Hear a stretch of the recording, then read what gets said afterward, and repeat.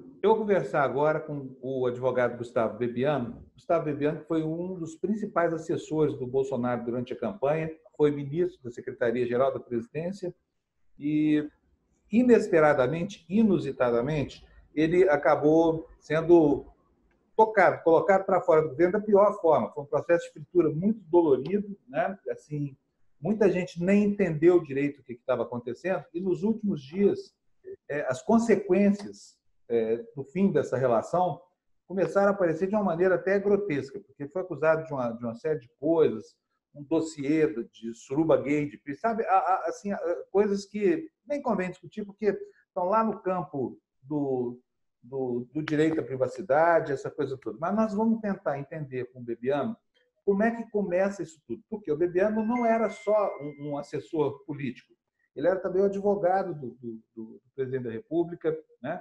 Ele iria disputar uma vaga a deputado lá no Rio de Janeiro. E, Bebiano, boa tarde para você. Obrigado pela entrevista. Boa tarde, Fábio. Obrigado pela oportunidade. Prazer falar com você. O prazer é todo meu. Bom, como é que começa essa história toda? Onde é que nasce a inimizade entre duas pessoas que pareciam ser carne e unha, que eram a mesma coisa praticamente, você e Bolsonaro na campanha? Ô, Fábio, é, é muito difícil você explicar o inexplicável, né? Ou como própria, a própria palavra já diz, inexplicável, não tem explicação. Se você buscar um fato específico que tenha determinado essa ruptura, um ato de traição da minha parte, um ato de deslealdade. Não há esse fato, não existe. Não é um fato com um dia, hora, local, objeto. É, não existe esse fato. Tanto que, na época, eu, eu desafiei é, os filhos do, do, do presidente que dissessem qual foi o fato. Quando você é objeto de uma acusação, Fábio, essa acusação precisa ser clara, precisa ser definida, para que você, a pessoa possa se defender, possa argumentar e mostrar é, até que aquilo não, não, não corresponde à realidade. No meu caso, não houve um fato, um local, é, uma, uma data, não tem nada disso.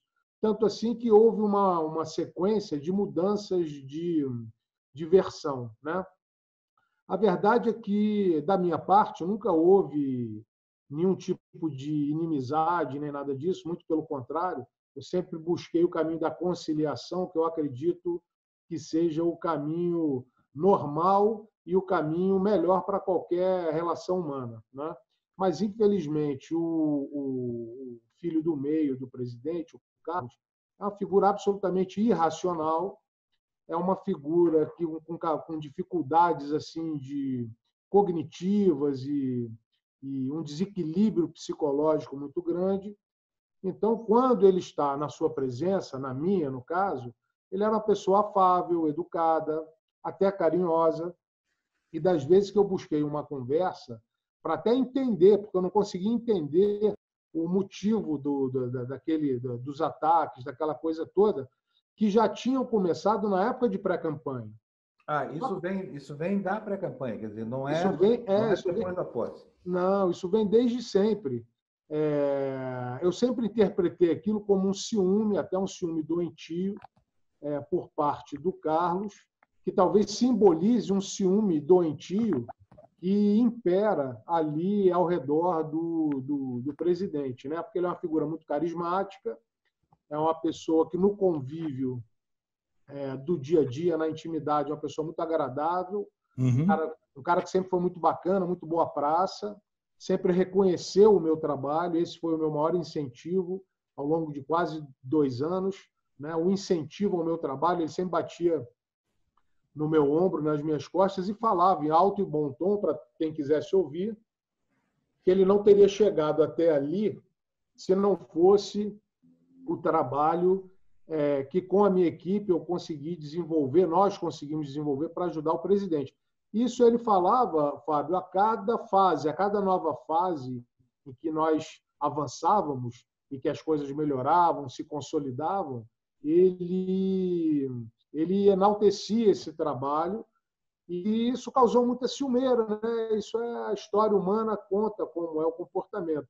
Quem, quem, é, é, essas manifestações de ciúme do, do Carluxo já aconteciam, então, durante esse período aí? Chegou Sim, a ter problema? Insinuações? Que... Não, insinuações não. Ele não fazia, ele não me atacava de frente, mas e eu ficava perplexo. A primeira grande fofoca, o primeiro grande ataque foi logo no início, meados de 2017, mais ou menos, quando começou a circular em grupos de WhatsApp, no Facebook, que eu seria um petista infiltrado. Uhum. É, quando todo mundo sabe que eu nunca tive a menor simpatia pelas ideias do PT, eu não trato adversários políticos como inimigos. Eu acho que esse é o primeiro é o primeiro ponto que, que precisa ser sempre destacado. Eu acho que o PT avançou, foi além do razoável, com um evidente projeto de poder eterno no Brasil.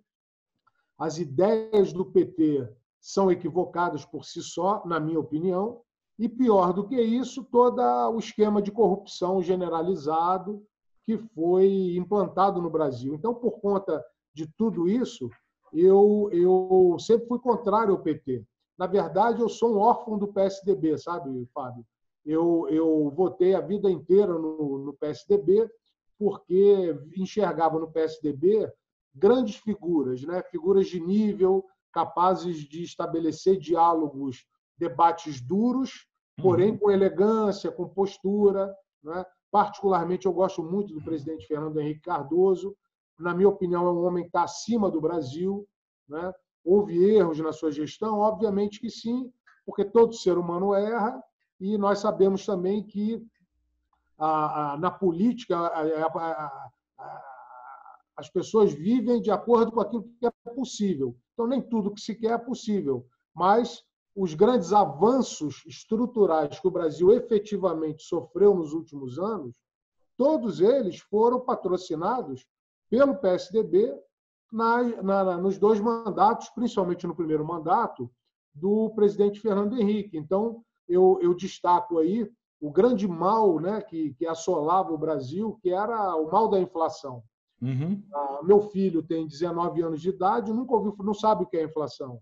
Muita gente aí com 30 anos de idade não sabe o que é inflação, mas eu sei, você sabe, e muita gente que está nos ouvindo também sabe como a inflação se apresenta como o pior dos impostos, o mais cruel, o mais covarde, que destrói a capacidade de compra do mais pobre, que não tem como se defender, principalmente naquela época em que o acesso a contas bancárias e tudo mais era uma coisa muito mais complicada, mais burocrática, e então o, o presidente Fernando Henrique Cardoso e o presidente Tamar Franco, logicamente, não podemos esquecer dele, né, é, conseguiram é, debelar esse problema que entrava governo, saía governo, entrava governo, saía governo, é, pacote aqui, pacote econômico acolá, e nada dava jeito. Então, o Plano Real foi um divisor de águas.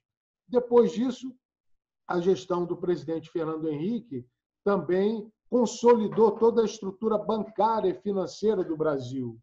É, o Lula, que atacou tanto o PROER, depois enaltecia o, o, o, programa e dizia que o Brasil era um modelo para o mundo, e realmente foi. Então, eu digo que o PSDB é, estruturou o Brasil, até com, com seus planos de privatização. O PSDB não entendo até hoje porque adotou uma postura envergonhada em relação a isso. É importante que se diga que na, até ali meados da década de 90, final da década de 90, as pessoas, Fábio, você se lembra muito bem, as pessoas declaravam no seu imposto de renda conta, é, é, linha telefônica fixa. É, uma tomada na parede, né? Tinha gente, que, de renda. tinha gente que vivia disso. A pessoa tinha lá 20, 30 linhas telefônicas, vivia de alugar essas linhas. Então, hoje em dia, o mais pobre tem um celular. Cada brasileiro tem dois, três celulares. Isso tudo graças à privatização que foi feita do sistema de telecomunicações. Então, eu costumo dizer assim: o PSDB passou o arado naquela terra dura e infértil, passou o arado, passou calcário para tirar a acidez da terra, semeou, plantou, regou, cultivou, combateu pragas. As árvores cresceram e quando estavam eh, no ponto de colheita, houve a mudança, entrou o presidente Lula e foi passando com a cestinha, colhendo as frutas, botando no balaio e distribuindo. Então, aquela fartura toda, principalmente no primeiro mandato do presidente Lula, foi graças ao trabalho do PSDB. Então, respondendo aqui, Fábio, dessa volta toda, só para justificar que eu sempre fui um eleitor do PSDB, porém acabei me tornando órfão do PSDB no momento em que eu percebi esse plano ganancioso de poder do PT e, do outro lado, eu via um PSDB muito anêmico, pálido, sem força, sem pujança, sem palavras mais fortes. Eu me lembro que havia tropa de choque ali na, na, na, no Congresso, que era o Sérgio Guerra, era o Tasso, era o Arthur Virgílio Neto, era o Aloysio Nunes Ferreira, o Aécio Neves, né? Uhum. Então havia uma tropa de choque que combatia ali o PT, mas não o Roberto Jefferson, ele, ele num, num, programa, Fábio, uma entrevista que ele deu a, se não salvo engano, ao Roda, ao Roda Viva, foi perguntada a ele essa questão política e ele disse o seguinte, que o Lula e o PT é, guerreiam num nível cá embaixo enquanto o, presidente Fernando Henrique estaria num nível cá em cima. O, o PT é faca nas costas, dedo no olho, chute nas regiões baixas, atira pelas costas. O PT é uma coisa meio de guerrilha, meio. E meio PSL, assim, meio PSL. e o PT e o PSDB, principalmente Fernando Henrique, presidente Fernando Henrique, não descia a esse nível. Então, é, realmente havia ali uma discrepância e o PT foi ganhando espaço. E eu comecei a ver no Jair Bolsonaro uma figura que, de forma corajosa, se contrapunha àquela, àquele projeto do PT. E como eu tenho muita simpatia, sempre tive, pelos militares, eu cresci, meu pai não era militar, mas os melhores amigos dele, amigos de toda a vida, eram militares, né? Eu posso mencionar o nome de quatro ou cinco ou seis, é, entre almirantes e generais, e um brigadeiro. Pessoas que tiveram efetivamente poder nas mãos e nunca utilizaram, se utilizaram disso para enriquecer. Então, isso me causava muita admiração, essa postura tão correta e tudo mais. Então, eu enxergava no, no Jair, como um representante das Forças Armadas, uma pessoa que combinava esse, essa, essa, essa, essa posição de farda com é, um parlamentar aguerrido, não é? ali sozinho, solitário. Ah, mas ele nunca chefiou nenhuma comissão, os projetos dele todos é, poucos e irrelevantes. Eu concordo, eu concordava com isso e concordo, mas a minha leitura na época era que isso tudo era muito por conta dele não ter se engajado no sistema. Uhum. Então, eu enxergava nele, até do ponto de vista eleitoral, a única possibilidade de tirar o PT do governo. Eu vi o, o Alckmin muito fraco, é, os outros candidatos, de um modo geral, ali com, com possibilidades de, de voto muito precárias. Então, por conta disso, eu comecei a me, me voluntarizei e comecei a trabalhar com o Jair. Né? Você já era ele... advogado dele nessa época, fazia algum tempo, é isso? É, eu comecei a advogar para ele ali início de 2017 em algumas uhum. questões pontuais, né? sendo que duas coisas o incomodavam muito naquela época e preocupavam. Uma delas eram os dois processos criminais é, relativos à deputada Maria do Rosário, era uma ação penal pública e uma privada, e havia um zum, zum, zum em Brasília que supostamente essa, essas condenações que já estavam próximas, os processos andavam assim num ritmo bastante acelerado naquele momento, em 2017, havia um zum, zum, zum de que ele ficaria inelegível. Aí começou um debate, uma questão jurídica, se esse tipo de condenação, em função de crime contra a honra, é, se isso o tornaria inelegível ou não. Mas entre essa dentro dessa discussão, o fato é que apesar dessa discussão jurídica não ter chegado a uma conclusão final, havia esse, esses rumores de que ele ficaria inelegível. Isso incomodava muito. Então, comecei ajudando nesse, nesses dois processos, indicando um advogado de peso, que é o doutor Antônio Pitombo, um dos melhores criminalistas do Brasil, uma banca composta por advogados de primeira linha, e o Pitombo começou a fazer um trabalho primoroso ali na, na, no processo, nesses, nessas duas ações. Conseguimos botar as, as duas ações num ritmo normal, né, numa cadência normal, e, portanto, não, não houve o julgamento e, portanto, e, obviamente, não houve nenhuma condenação e ele pôde se candidatar.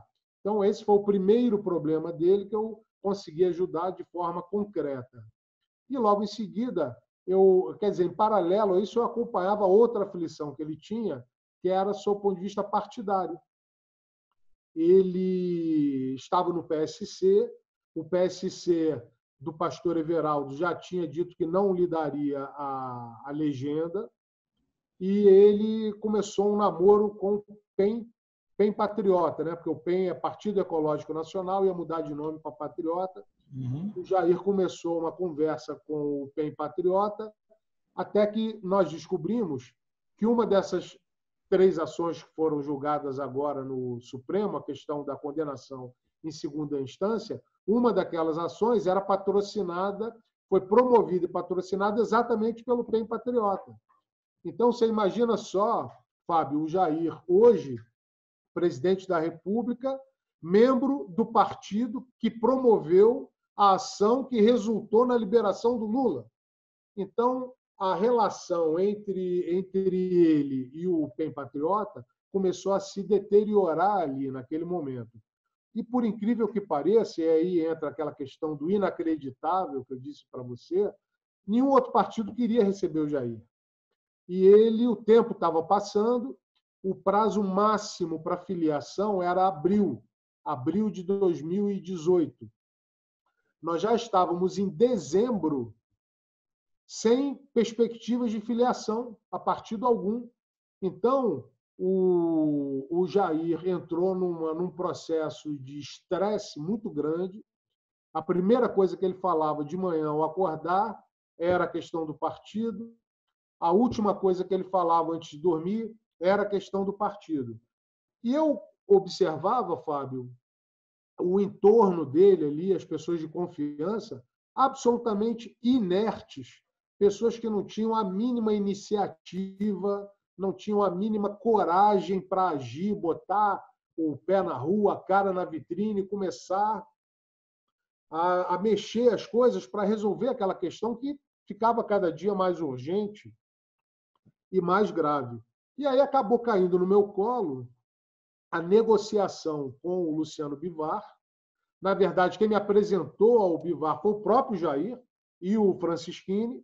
Eles já se conheciam ali da, da, da, da Câmara, uma vez que o Bivar é, já tinha tido mandatos anteriores, e naquela legislatura ele era suplente de um outro deputado que estava licenciado, portanto, o Bivar estava lá na, na, na Câmara.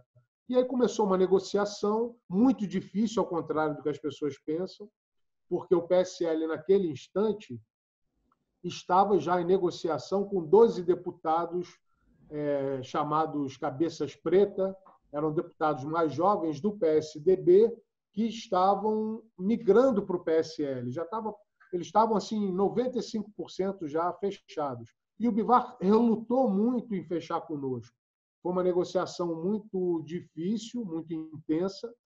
E depois que o martelo foi batido e, e, nós apertamos a mão, o Jair virou para mim e falou assim: quem me garante que ele não vai me vender ali na frente e na hora H vai me deixar sem a legenda? que seria no mês de agosto, né? Porque o prazo para filiação era abril, o político para concorrer a um mandato, ele tem que estar filiado naquele partido em que ele vai concorrer até abril. Uhum. E a sua candidatura tem que ser lançada até meados de março, por ali, de agosto. Então, uma vez resolvida a questão do partido, o Jair passou a ter medo que chegasse na hora H, em agosto, o Luciano Bivar voltasse atrás e não desse a legenda para ele, em função de algum outro interesse maior que poderia aparecer nesse meio do caminho. E foi aí que o Jair botou no meu colo a responsabilidade por é, conduzir todo esse processo e encontrar mecanismos jurídicos que garantissem a ele a legenda, garantir a ele a proteção suficiente para que não houvesse uma surpresa desagradável em agosto.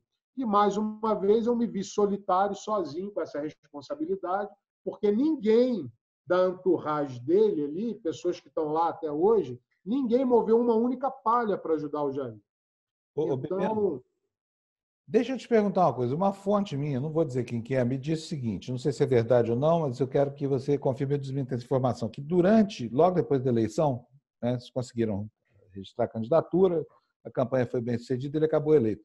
Mas você teve dificuldade até para conseguir uma sala lá na, na, na, onde acontecia a transição. É verdade isso?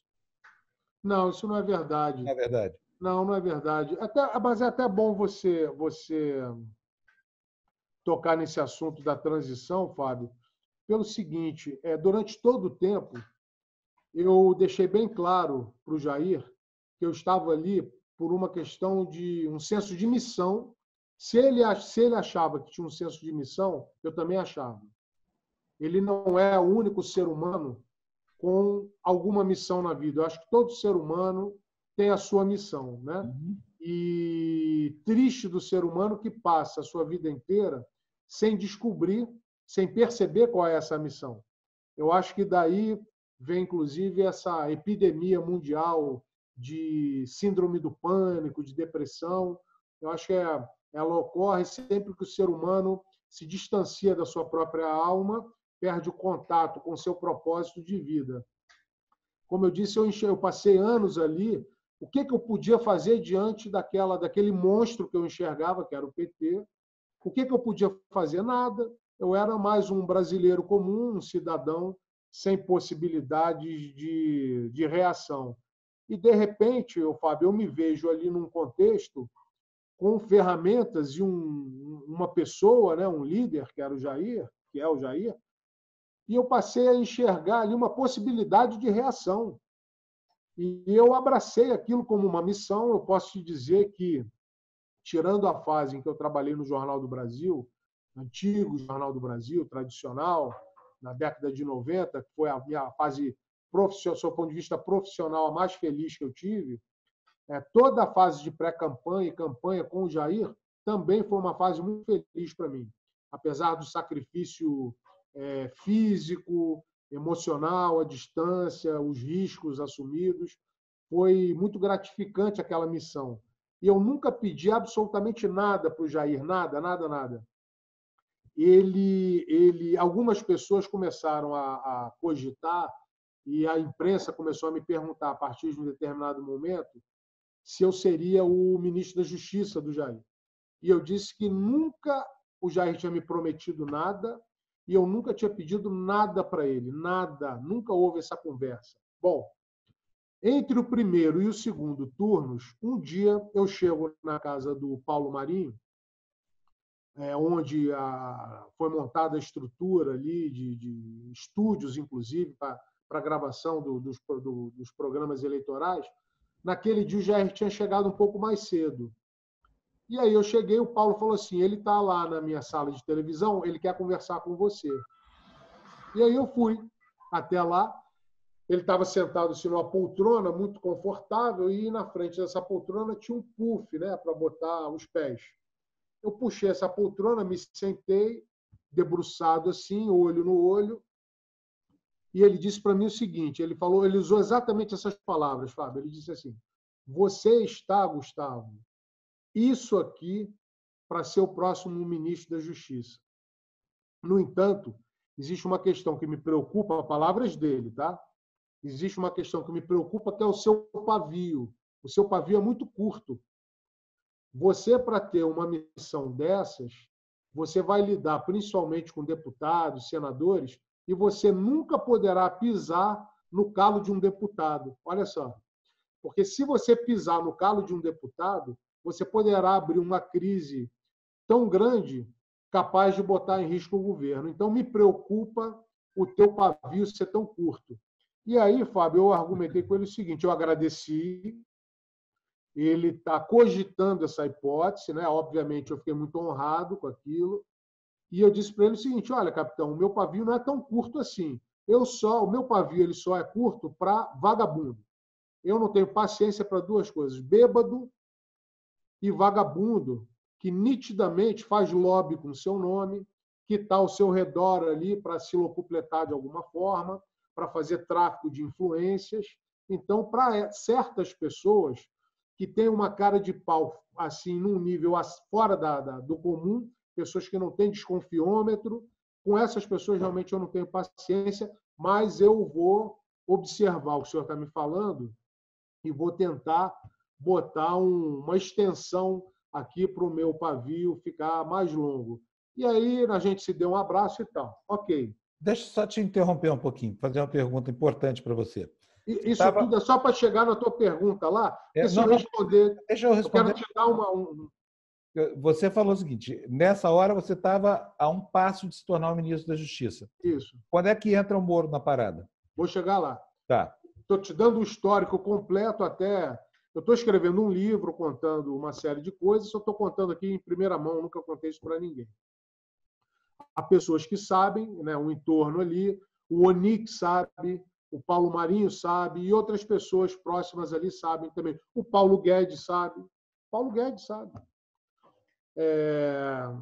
E aí houve essa conversa, e depois, alguns dias depois, houve de novo uma, uma segunda conversa no mesmo, com o mesmo teor, né? e a partir dali ele olhava para mim às vezes falava assim: ministro, ministro e tal, brincando, né, com aquele jeito dele. Ok. O tempo passou e aí veio o dia do segundo turno, domingo, na casa do Jair. A gente chegou lá à tarde, tipo 5, 5 e meia da tarde, ainda estava claro. O Paulo Guedes estava na sala, me, me puxa, me chama e fala assim: Bebiano, eu quero conversar com você um negócio aqui importante e foi a primeira vez que o Paulo Guedes mencionou que estava conversando com o Sérgio Moro. Ele me contou que já, já tinha tido cinco ou seis conversas com o Sérgio Moro e que o Sérgio Moro estava, estaria disposto a abandonar a magistratura e aceitar essa, esse desafio como ministro da Justiça. Eu disse duas coisas ao Paulo. Eu disse, primeiro, Paulo, eu só acredito vendo porque eu, no lugar dele, não abriria a mão da minha carreira, da minha estabilidade enquanto ministro, de, é, magistrado, para migrar numa, numa, para uma missão tão turbulenta, com uma vitrine tão grande, sem garantias de nada. Mas eu quero te dizer o seguinte, Paulo, parabéns, porque entre mim e o Sérgio Moro, é óbvio que o Sérgio Moro tem um nome, tem uma notoriedade, tem uma história que muito mais relevante do que a minha, né, no sentido público, obviamente, essa questão toda da Lava Jato. Eu acho que ele vai conferir um selo de credibilidade logo na saída, logo na largada, e vai ser muito bom. E nós apertamos as mãos e combinamos o seguinte: se o Moro realmente vier, não tem problema nisso. No domingo à tarde, antes do resultado. Isso foi... Então, peraí, vamos, vamos porque essa informação que você está dando é informação que tem um comprometimento, ela é muito séria, porque Sim. isso que você está falando, sendo verdade, e eu não estou desconfiando de você de jeito Sim. nenhum, isso desmente de maneira cabal o que o Moro tem dito, que ele passou a negociar depois da eleição do, do presidente. Não, o Paulo, o Paulo o, até onde eu sei, o Moro não tinha contato nenhum com o Jair. Zero.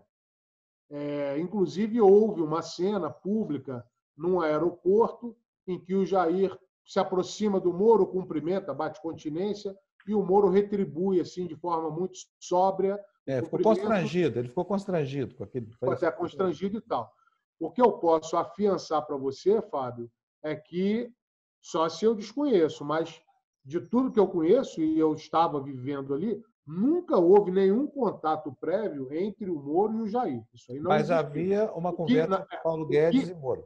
O que houve foram algumas conversas entre o Paulo Guedes e o Sérgio Moro iniciativa do Paulo Guedes, sondando o Moro para a função, assim como nós conversamos com outras pessoas. A Viviane Sena foi cogitada para para a educação. É, eu, eu sondei o Augusto Nunes para que ele assumisse a SECOM.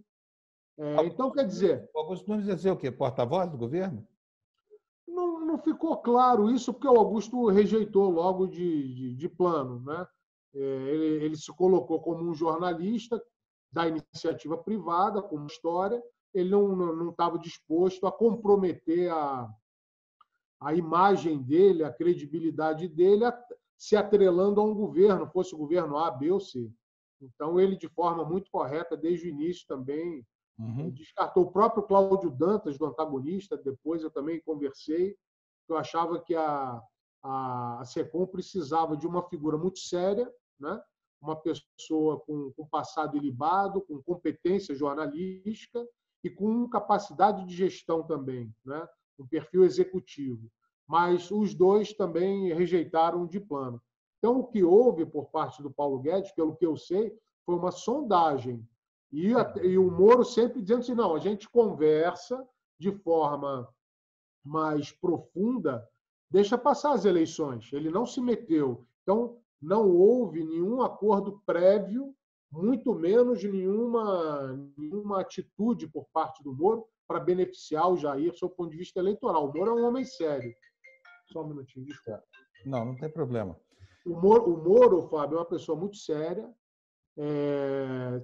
Se ele cometeu algum tipo de exagero ou equívoco, é... todos nós, seres humanos, né, estamos sujeitos a isso, mas eu enxergo no Moro uma pessoa muito bem intencionada e um cara sério. Então, assim, até onde eu sei, não houve nada concreto ou mais elaborado antes. O que houve Mas houve sonda... pelo menos sondagem já havia naquele momento que não. É, bem ali no final, né? Entre ah. o Paulo Guedes e o, e, o, e, o, e, o, e o Sérgio Moro. Bom, voltando à história aqui. Então, eu, nós apertamos as mãos, eu e o Paulo Guedes, e ficou combinado o seguinte: ganhada a eleição, daqui a pouquinho a gente vai saber.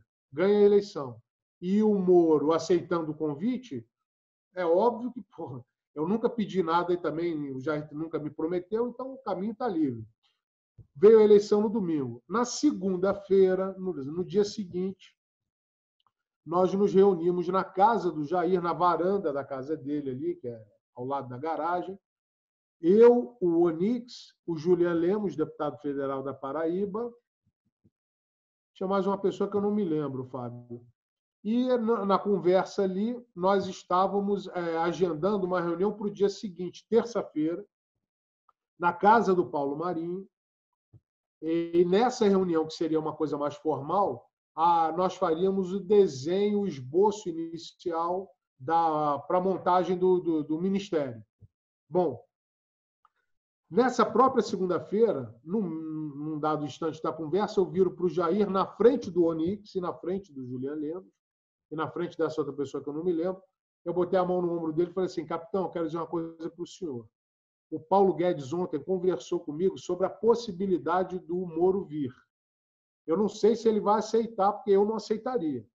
Repetir para ele o que eu falei para o Paulo Guedes. Mas eu quero dizer para o senhor que o senhor fique inteiramente à vontade, o senhor não tem compromisso nenhum comigo.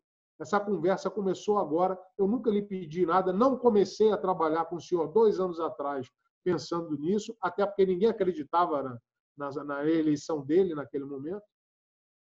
E deixei o Jair 100% à vontade. Ele olhou para mim, não falou nem A nem B, não respondeu nada. No dia seguinte, reunião na casa do Paulo Marinho de manhã. Dessa reunião, participamos eu, o Jair, o Onix, General Mourão, Paulo Guedes, o Paulo Marinho, tinha mais gente. Mas as pessoas assim mais eram o Onix, General Mourão, Paulo Guedes, eu, Juliana. Bom, nessa reunião na terça-feira na casa do Paulo Marinho, o Jair apertou a mão do Julian Lemos e disse que o Julian Lemos seria o líder do governo na Câmara. O Juliano não pediu nada, partiu do Jair ficou houve ali esse compromisso. Por quê? Porque o Julian, mesmo tendo sido eleito e agraciado, digamos assim, com o mandato de deputado federal, ele foi uma das pessoas que mais trabalhou pela, pela, pela campanha do Jair. Ele coordenou o Nordeste inteiro. O Julian Lemos quebrou pedra, literalmente. No início, ele começou a relação com o Jair cinco anos antes. Até uhum. flechada de índio ele levou no braço uma vez.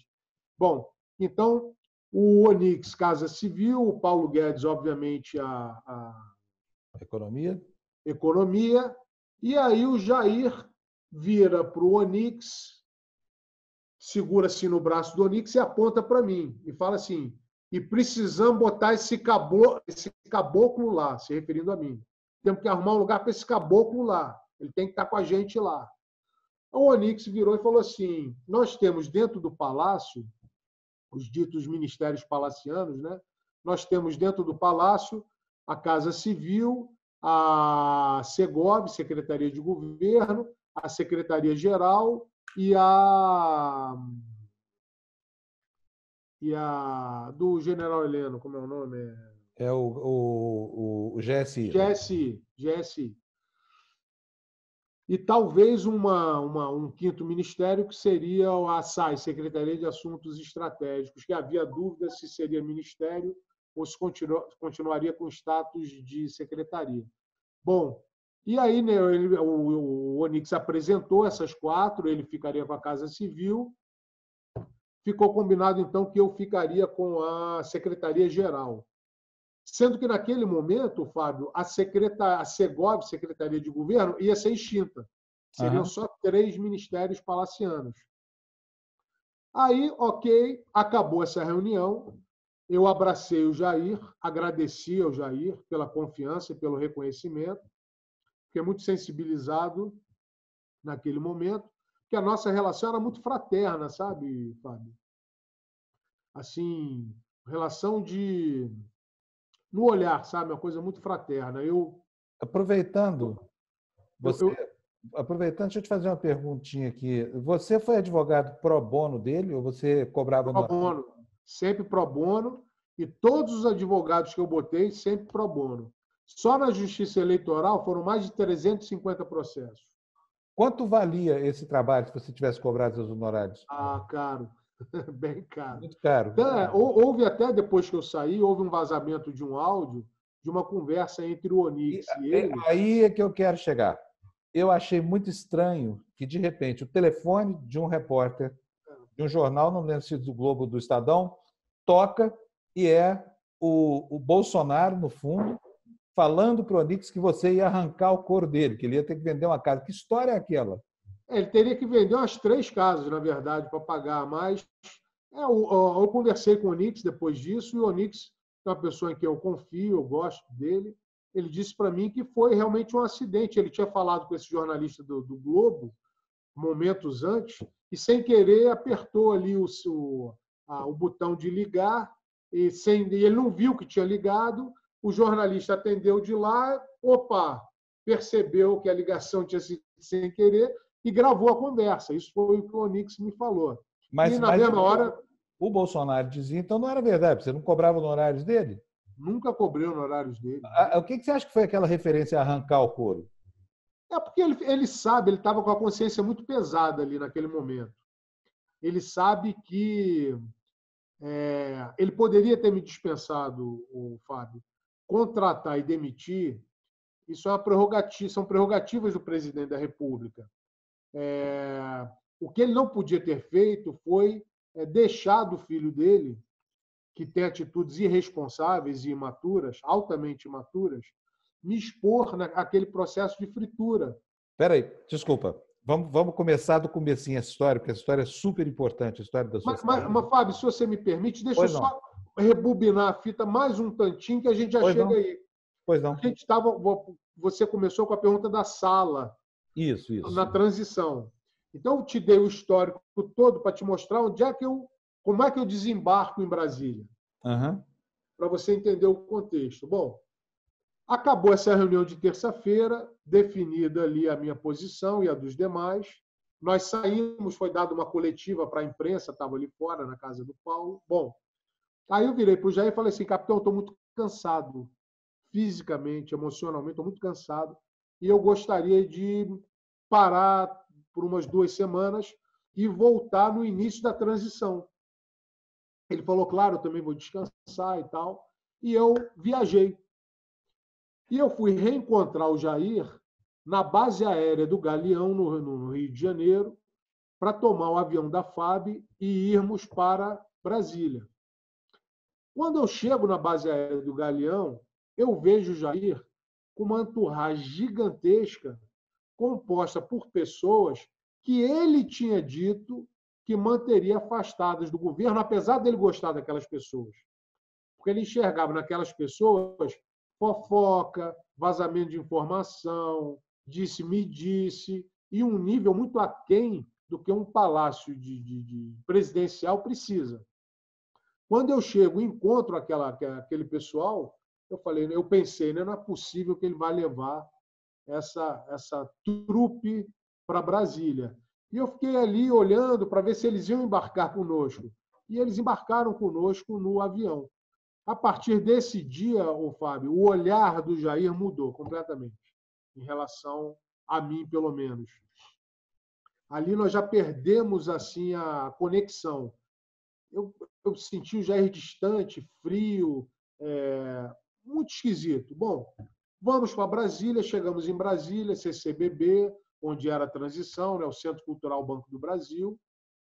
E aí eu sou recebido lá, ministro, ministro, muito prazer, eu sou fulana, vou secretariar o senhor, aqui é Beltrano, e aquele tratamento todo pomposo né, de Brasília, aquela coisa toda. Me levaram para a minha sala, que ficava em frente à sala do Onix. Uhum. Todo mundo ali se instalando, aquela coisa toda. Eu comecei a me entusiasmar, analisar o organograma ali do ministério que, que me cabia, e eu peguei logo as duas coisas mais importantes. Uma era PPI, e a outra era exatamente a, a, a, a SECOM. É, até em termos de dinheiro, né, o, o orçamento dessas duas, dessas duas áreas muito importantes. E aí o que, que eu fiz? Eu convidei dois generais, um general de quatro estrelas, que é o general Santa Rosa, que é um homem de um histórico assim brilhante, uma pessoa acima de qualquer é, suspeita e de qualquer é, ataque, né? E peguei o general Santa Rosa e peguei o general Floriano Peixoto, um general de divisão, também muito respeitado, comandou forças da ONU no Haiti, enfim, uma pessoa de muito preparada, não é? um com MBA no exterior, e dividi, botei um com PPI e outro com a SECOM, para a gente começar a analisar aquilo tudo e montar um trabalho muito sério ali. Uhum. E eu sentia no Jair uma coisa muito distante. Outra pessoa, Fábio, completamente diferente. Mas ele já sabia dessas suas duas indicações para Sabia, claro, claro, claro. Então quer dizer que o problema pode ter acontecido já como reação do filho aí né, durante esse período Não, de Pois é. E aí eu tentava entender o porquê daquele. Porque eu, eu não via ele assim tão distante das outras pessoas. Uhum. Eu via ele muito próximo de pessoas de quem ele estava distante. Uhum. E pessoas de quem ele era próximo, ele passou a botar uma barreira injustificável. Por exemplo, o Julian Lemos, como eu disse, foi um guerreiro o tempo inteiro. Trabalhou e começou a trabalhar com ele cinco anos antes, quando ninguém acreditava. E já estava nomeado, já estava nomeado praticamente. Já tinha um mandato, o Julian, e, já tinha sido indicado pelo Jair como, como líder do, do governo na, na, na Câmara. Então, Fábio, quando eu destaco esse passado, é para mostrar que essas pessoas que deveriam ser as pessoas de confiança, porque eram pessoas que provaram ao longo dos anos por que estavam lá, porque efetivamente acreditavam. Uhum. O, o Julian Lemos tinha amor pelo Jair. Ficava hospedado na casa do Jair em Brasília. E, o e ele teve, desculpa, O Juliano teve, teve dificuldade no acesso ao ambiente de transição, não? Ele, ele... ele, muita, muita. É verdade que ele não conseguia nem um crachá para ter acesso? Verdade. Começou a ser humilhado. E aí eu tentava entender o que estava acontecendo. E não conseguia. Num dado dia, é, e aí começaram a vir, vir as nomeações, Fábio. O Jair indicava um, indicava o outro, indicava o outro, Osmar Terra para não sei o quê, fulano para não sei o que lá, e não falava nada de mim. É, houve um delay muito grande, todo mundo espantado, é. ficou espantado com isso. E as pessoas começaram a me cercar e perguntar o que estava acontecendo. Chegou num dado momento, um dia eu estava muito aborrecido, eu peguei o Onix e falei assim, Onix, olha só, eu estou indo embora, para mim não dá mais, eu não preciso passar por essa humilhação, é, o Jair nunca me prometeu nada e eu nunca pedi. Quando houve a questão do Ministério da Justiça, partiu dele e eu sempre deixei muito à vontade. Uhum. Quando surgiu o nome do Sérgio Moro, eu fui o primeiro a dizer que o Moro seria uma escolha muito mais adequada do que a minha. Então, assim, eu não o que eu não posso permitir é que ele me ofereça um ministério, como ele falou na mesa, temos que botar esse, arrumar um lugar para esse caboclo aqui, ele tem que estar com a gente lá dentro do palácio. Ele não pode me colocar nessa posição, anunciar para todo mundo que eu vou ser, que eu vou ocupar o ministério da Secretaria-Geral e me deixar aqui nesse banho-maria. Isso eu não aceito. Passar por essa vergonha, eu não vou passar. Então, eu estou me despedindo, eu já conversei com os dois generais, eu vou embora. E o Onix, muito conciliador, não, botou panos quentes e tal, foi conversar com o Jair. E o Jair disse: não, eu vou resolver essa questão. E, e revelou que a pressão era o Carlos. O Carlos não queria que ele me nomeasse, hipótese alguma. Aí que você e, ficou sabendo a origem do problema. Aí a coisa se escancarou. O Carlos é, é, empenhou uma pressão violentíssima sobre ele. Ele já empenhava a pressão antes da eleição. Só que eles sabiam que dependiam de mim por uma série. Eles nunca dependeram de mim sob, sob o ponto de vista eleitoral. Esse mérito é único e exclusivo do Jair.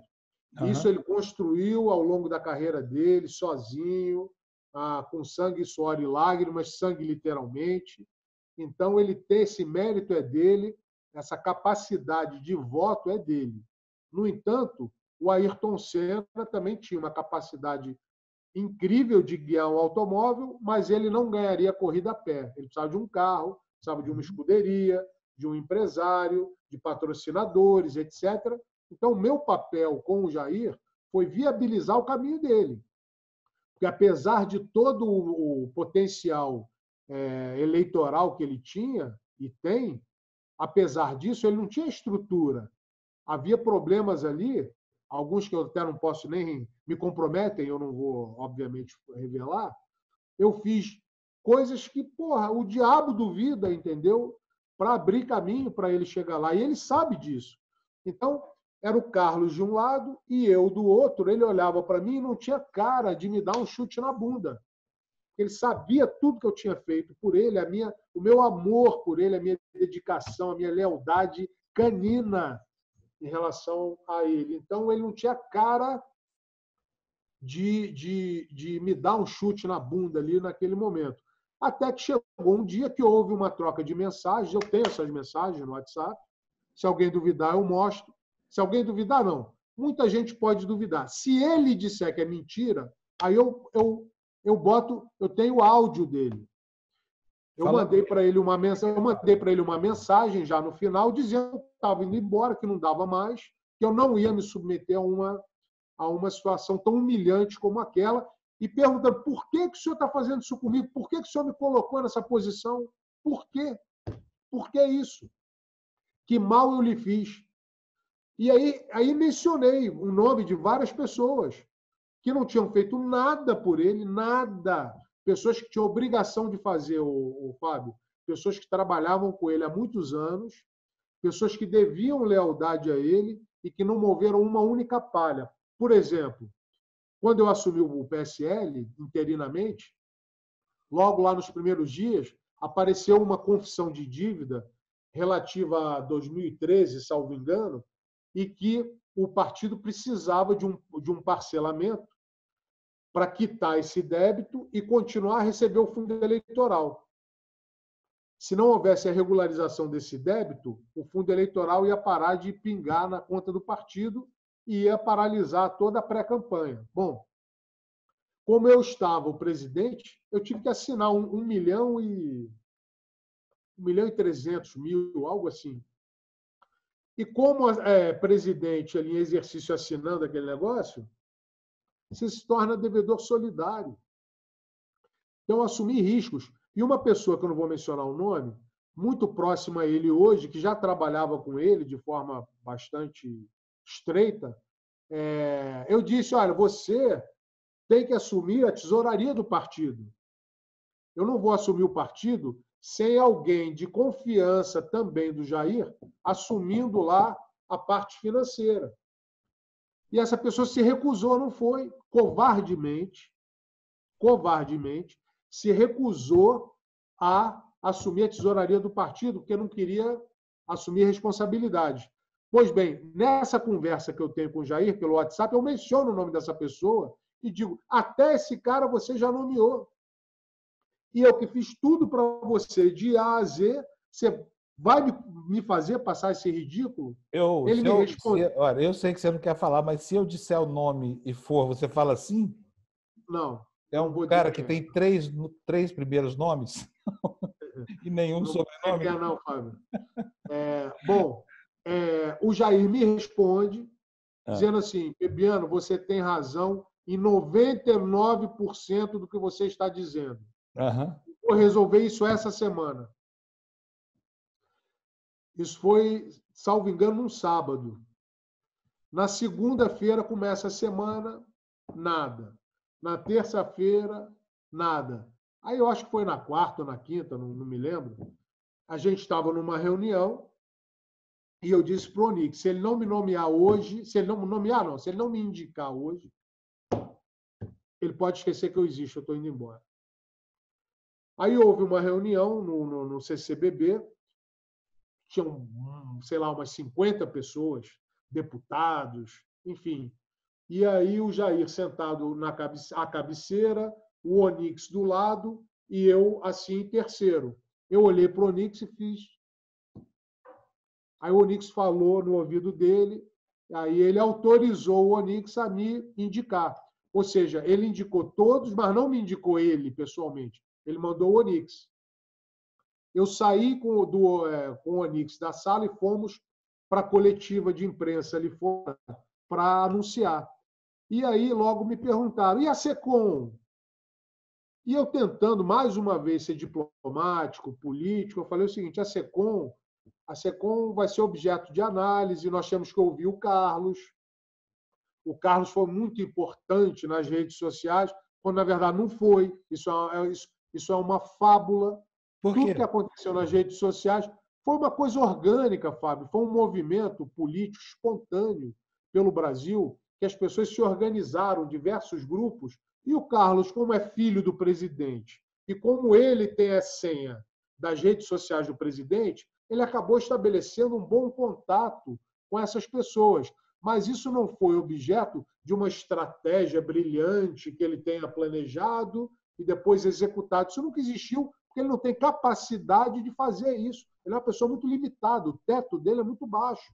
Um cara que não estudou, um cara é muito limitado, nunca trabalhou na vida. Ele foi emancipado com 17 anos de idade para assumir o primeiro mandado de vereador. E está até hoje, com 35 ou 36, 37, sei lá quantos anos ele tem, vivendo aquela vidinha medíocre naquele antro que é ali a política do Rio de Janeiro, nunca teve cara, ambição para almejar uma coisa mais contundente, nunca fez nada pelo Rio de Janeiro, nada. Você veja que ele está sempre ausente, e aí às vezes ele diz assim: ah, eu estou ausente, mas é, na, de forma não remunerada, eu estou com licença não remunerada. E aí eu pergunto o seguinte: mas e o seu gabinete, meu querido? O seu gabinete está lá, e as pessoas estão sendo remuneradas. Aquela estrutura que é carérrima está lá, que deveria ser usada em benefício do povo do, da cidade do Rio de Janeiro, e não é. fica todo mundo encostado lá sem fazer nada. Então, assim, é um cara que causa prejuízos à cidade do Rio de Janeiro. Ô, Bebiano, me explica uma coisa. Você que esteve lá dentro, talvez você tenha a, a, a explicação. O Bolsonaro atribui, reputa esse filho, que tem, assim, evidentemente, tem problema, tem comprometimento, é um desequilibrado notório. Porque o trabalho que ele faz hoje nas redes sociais é um trabalho absolutamente desagregador, disruptivo. De onde é que vem a importância? Porque o pai sempre fala: olha, meu filho é intocável porque ele foi o cara que me elegeu nas redes sociais. Então, de onde é que vem essa relação? É, é da história da mãe, que, que o menino foi a mãe da eleição? Eu vou concluir a história do CCBB e ela ah. ilustra bem o exemplo. Tá. Nesse dia, como eu disse, eu tentei ainda ser bastante diplomático. E falei isso, ainda enalteci o Carlos. Ele leu o que eu falei como um deboche. Então, juntou. Ele tinha dito para o pai o seguinte antes: ele falou assim, se você indicar o Bebiano, eu nunca mais piso em Brasília. Aí o que, que ele faz? Ele some. Muitas vezes ele vai lá para um clube de tiro, lá em Santa, Santa Catarina, sei lá onde, faz malcriação, entendeu? Bate o pezinho, criança, e some. Da birra, e o Jair, como fez agora, aliás, está sumido agora. Aí o Jair entra, o Jair entra em pânico. Ele, ele fica desequilibrado, ele perde o norte completamente. Fica preocupado do garoto fazer alguma coisa. Eu não sei se ele tem medo. Eu realmente não sei, porque ele nunca me disse. Mas eu acho que ele tem medo que o garoto é, faça alguma coisa contra a própria vida. Eu não sei o que é, o Fábio. É difícil, eu não sou psiquiatra nem psicólogo. Mas. A questão é dessa natureza, é desse gênero. É grave, é grave. E aí ele fica, coitado, eu entendo ele como pai. Uma, uma vez eu tive uma conversa com ele, pouco antes da cirurgia última que ele fez, para tirada da colostomia, da bolsa, e eu disse para ele assim, capitão, eu não consigo entender o Carlos. Aí ele virou para mim e falou assim, nem eu. Triste, abatido. Agora, então, para então, gente entender, então, então, o Carlos ele tem, ele, ele, ele é como se chantageasse emocionalmente o pai e o pai se ressente daquilo. É, esse é o quadro. Agora, o que você me perguntou, o motivo, aí realmente são questões familiares que eu me permito não entrar em considerações, porque são questões íntimas de família que precisam ser respeitadas. Tá, mas já temos a natureza do problema, já indica o que pode acontecer ali no, nos bastidores dessa relação que é familiar e política. Agora, houve alguma treta entre vocês na, na, na, hora de estabelecer quem é que seria candidato, por exemplo, deputado? Porque não tinha história de que, de que você me falou que ele ficou enciumado porque o pai disse que você seria o puxador de votos, essa coisa toda, e ele continuar vereador no Rio de Janeiro? Pode ter sido isso? Isso, isso foi também um, acho que foi o, o ponto de partida. Mas ah, seja qual for o motivo, eu vou até explorar um pouco esse aspecto que você está dizendo, uhum. mas seja qual for o motivo, é um problema inevitável, porque se não for o motivo A, vai ser o motivo B, se não for o motivo B, vai ser o motivo C. Quando eu comprei meu primeiro bulldog americano, Fábio, que é uma da raça que eu mais é, gosto de cachorro, quando eu comprei o meu primeiro bulldog americano, o criador me disse assim: olha, é um cachorro que não faz matilha. E às vezes nem a fêmea ele aceita. E se não tiver ninguém para brigar, ele vai brigar com a vasilha d'água, ele vai comer a vasilha. É, então, assim, é um comportamento meio de bulldog americano. As pessoas falam pitbull, não, é mais bulldog americano, porque eles brigam com todo mundo. Não, eles não conseguem viver em paz com as pessoas. Então, essa questão de candidatura a deputado federal. Existe um deputado federal, o Carlos Jordi, que é do Rio de Janeiro, salvo engano, de Niterói. Uhum. É um cara que sempre foi muito leal ao Jair. O Carlos Jordi é um bolsonarista de origem, né, de raiz, digamos assim. Sempre, salvo engano, ele era agente federal, depois virou, acho que vereador por Niterói. Eu acho que é isso, não estou bem certo, não. O Carlos Jordi é um sujeito que sempre foi bolsonarista de carteirinha. E, no entanto, o Carlos odeia o cara. O Carlos tem uma implicância com ele. A impressão que eu tenho, Fábio, é que qualquer pessoa que se arvore muito na defesa do Jair, que diga que sou leal, sou, o Carlos se sente desbancado. A impressão que eu tenho é que ele é muito vaidoso e que ele quer um protagonismo quase que exclusivo, né? Ele quer monopolizar a posição de soldado leal do pai. E qualquer pessoa que se apresente como um soldado valoroso, ele tem um ciúme danado e corta. Então, o que ele atacou o Carlos Jordi, você não faz ideia. E o Carlos Jordi dizia: pô, não entendo por que, que eu estou sendo tão atacado. A diferença é que, como o Carlos Jordi não teve, em relação ao Jair, a proximidade que eu tive, não teve uma participação tão efetiva e tão próxima, a raiva do Carlos ela é mais moderada. Agora, quanto maior a proximidade em relação ao pai, e o pior de tudo é o seguinte: se o pai ousar demonstrar afeto por você, aí lascou. Aí, ferrou, aí o ódio é absoluto. Ele, ele, não suporta. Ele, ele não suporta. Ciúme, ciúme de homem é pior do que ciúme de mulher, é isso. Né? Ele, ele, é tomado por um ciúme assim insano. Então, o que, que acontece com isso? Ele queima as pessoas que poderiam ajudar o pai. O general Santos Cruz é um exemplo. O que esse menino fez contra o general Santos Cruz? Uma covardia. O general Santos Cruz é um herói brasileiro. É, a participação dele no Congo é um sujeito de uma valentia, de uma postura, de uma fidelidade em relação ao Jair corretíssimo e foi achincalhado por um bando de covardes de rede social, valentões de rede social, valentões de Araque, entendeu? Valentões que na cara a cara não são valentões coisa nenhuma, são os frouxos, né? É, eles mobilizam esse exército de valentões virtuais para denegrir a imagem das pessoas. Isso eu não aceito. Eu conheço bem isso. Tem, é, você tem gente que aceita, sabe, Fábio? Aí é uma questão de foro íntimo. O sujeito, porque eles confundem, essa é uma característica da família Bolsonaro. Eles confundem amizade e lealdade com você ser capacho.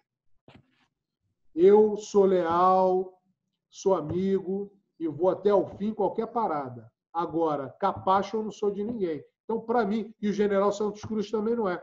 Na saída, o Fábio, depois de toda a lambança que foi feita, me ofereceram Itaipu, diretoria administrativa de Itaipu, um salário maravilhoso. Se você somar tudo com benefícios, dá 1 milhão e 200, 1 milhão e 300 no, no fim do ano. Se você for desonesto, então, e aquilo é um parque de diversões. Né?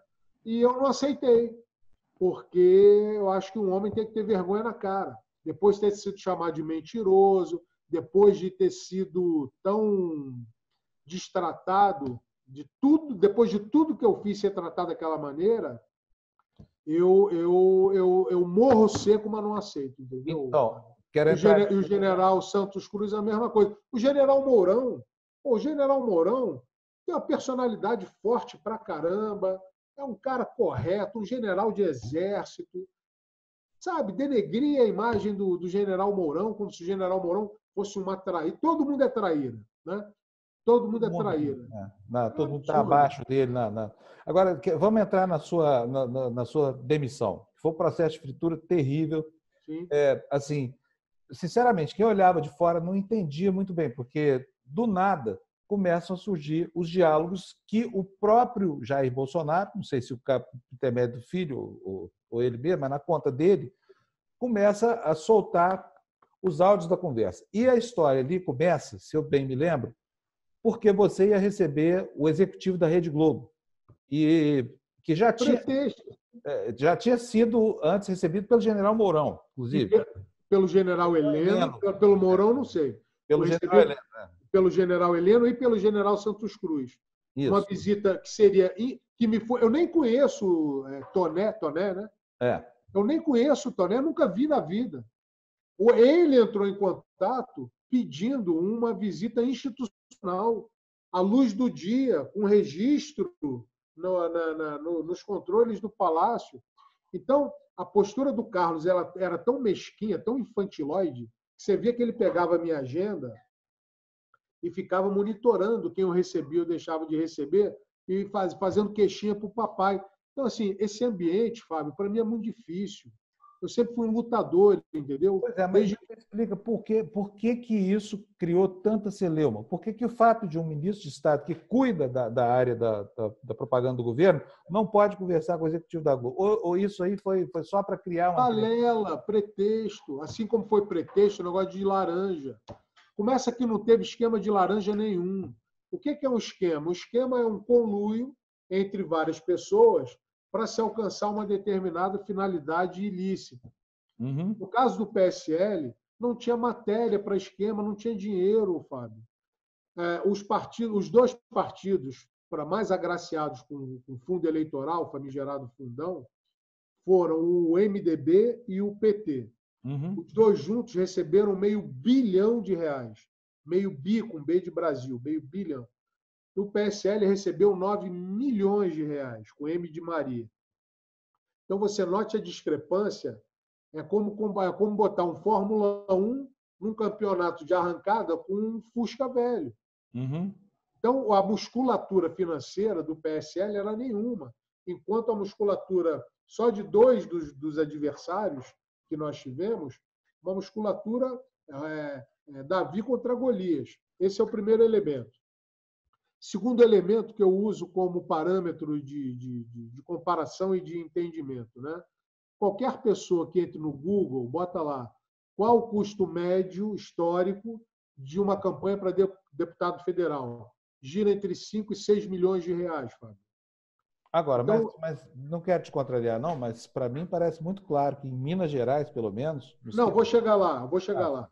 Então, assim, o PSL tinha dinheiro para fazer um deputado e meio. Fez 52 a 53, mais quatro senadores e três governadores de Estado. Então, isso foi um grande fenômeno de, de, de votos, nunca visto antes na história do Brasil, e eu acho que na história do mundo também não tem um paralelo assim. Uhum. Pois bem, então, esquema não houve, porque o cobertor era desse tamaninho para um corpo gigantesco. Então, tudo era feito muito a conta gotas. Agora, se houve algum problema pontual no Acre, no Piauí, no Rio Grande do Sul, no Maranhão, Rondônia, Roraima, realmente é, é impossível a Nacional saber disso, até porque não é competência da Nacional.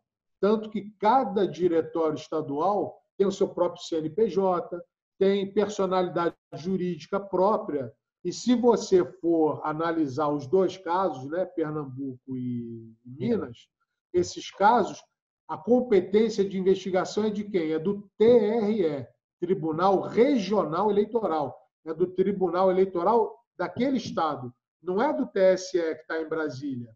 Uhum. Então, a minha, a minha responsabilidade, enquanto responsável pelo Diretório Nacional, a minha responsabilidade é perante o TSE. Ou seja, perante você, cada... Você cuidava das contas da campanha nacional e cada estado fazia lá a auditoria das suas contas locais. É, é a, a, nacional tinha uma competência geográfica, digamos assim. Então, a nacional tinha 9 milhões. Onde é que eu vou botar esses 9 milhões? Em São Paulo? Vou botar em Sergipe? Vou botar no. Onde eu vou botar? Aí a gente adotou os critérios óbvios. Quais são? Tamanho do Estado, uhum. É densidade eleitoral do Estado e importância estratégica. Uhum. Então, por exemplo, Pernambuco é um estado estratégico para o Nordeste. É um estado formador de opinião da região Nordeste. Minas Gerais tem quase 900 municípios. Minas Gerais recebeu um milhão. Então, você vê o seguinte: se você pegar esse dinheiro e dividir pelo número de municípios, você vai ver que tinha mil e poucos reais para fazer cada município. Como é que você faz campanha com mil reais por, por menor que seja o município? Então, Minas fez cinco ou seis deputados estaduais e cinco ou seis deputados federais. Então, o resultado de Minas foi muito grande. Agora, se um determinado assessor em Minas usou o dinheiro de forma adequada, teve uma devolução por debaixo dos. Aí é, é, é impossível saber. Então, Fábio, essa coisa de laranja, se houve alguma coisa, que se apure, como está sendo apurado. Uhum. Eu, eu, eu, eu, particularmente, eu, eu gosto do Marcelo. Não acho que o Marcelo fosse capaz de fazer o que está o que estão acusando de ter feito, mas eu não sou polícia nem sou juiz. Então, é. a conclusão do inquérito vai estar lá. Agora, o Jair usar isso como pretexto, tanto é furado esse pretexto que ele continua com o Marcelo lá. Se o pretexto fosse esse, quem só eu nunca sofri acusação direta de nada. Quem sofre é o Marcelo. Ora, bolas, por que, que o Marcelo está lá? Então também não é isso. Aí a outra outra. Você sabe por que não? Honestamente, não sei. Eu acho que o Jair acredita na inocência dele é... e fez uma aposta. Talvez tenha um quê de birra contra a imprensa, já que a imprensa está batendo tanto, também eu não tiro. Acho que é um, acho que é um, um mix disso tudo, sabe? Entendi. A impressão que eu tenho. Agora, é, é... A, a, a, outra desculpa é que eu vazava, vazava informações. Isso. É, que você era o cara da, da mídia, da, da extrema imprensa. Aí eu queria saber o seguinte: qual foi o objeto do vazamento, qual foi a data e vazou para quem? Entendeu? Não tem. Ou seja, é mais eu, eu, eu, uma mentira do Carlos para tentar criar Exato. um nosso. Eu até me diverti muito quando houve o vazamento da conversa do Onix com essa que o Jair disse que ia ter que vender uma casa para me pagar me paga não só a mim, como ao grupo de advogados que trabalhou, que foram os 40 advogados que trabalharam de graça. Uhum. A única que cobrou foi a Karina Cufa, que está lá, curiosamente. Né? Ele pegou exatamente a que cobrou e cobrou caro. Mas tudo bem. Então, Fábio, é... o meu trabalho ali em relação à imprensa, eu trabalhei sete anos no Jornal do Brasil.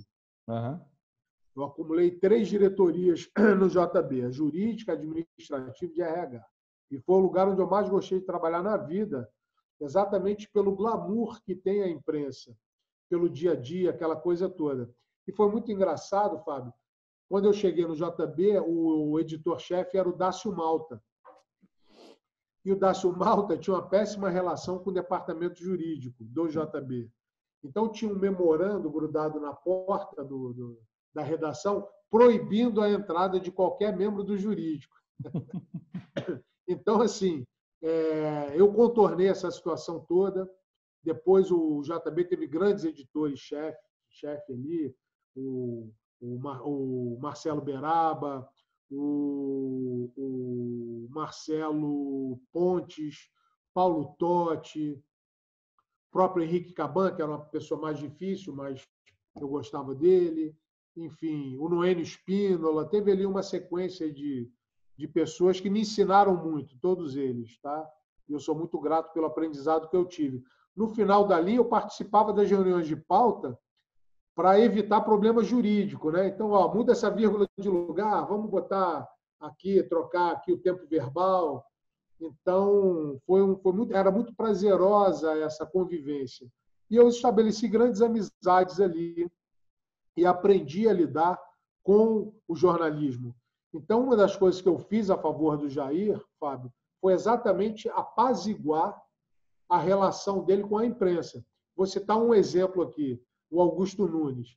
O Jair se referiu ao Augusto como aquele tal de Augusto Nunes. Aquele tal de Augusto. Ele detestava o Augusto. E eu promovi uma aproximação entre os dois. E hoje ele ama o Augusto. Confia no Augusto. Ah, o Augusto também ama ele. Ele declara que o Augusto é um dos poucos jornalistas sérios no Brasil e tal. Então, quer dizer, eu pude colaborar, meu trabalho sempre foi de maneira construtiva, porque eu enxergo as coisas da seguinte maneira, Fábio. Presidir um país, presidir uma padaria já é difícil.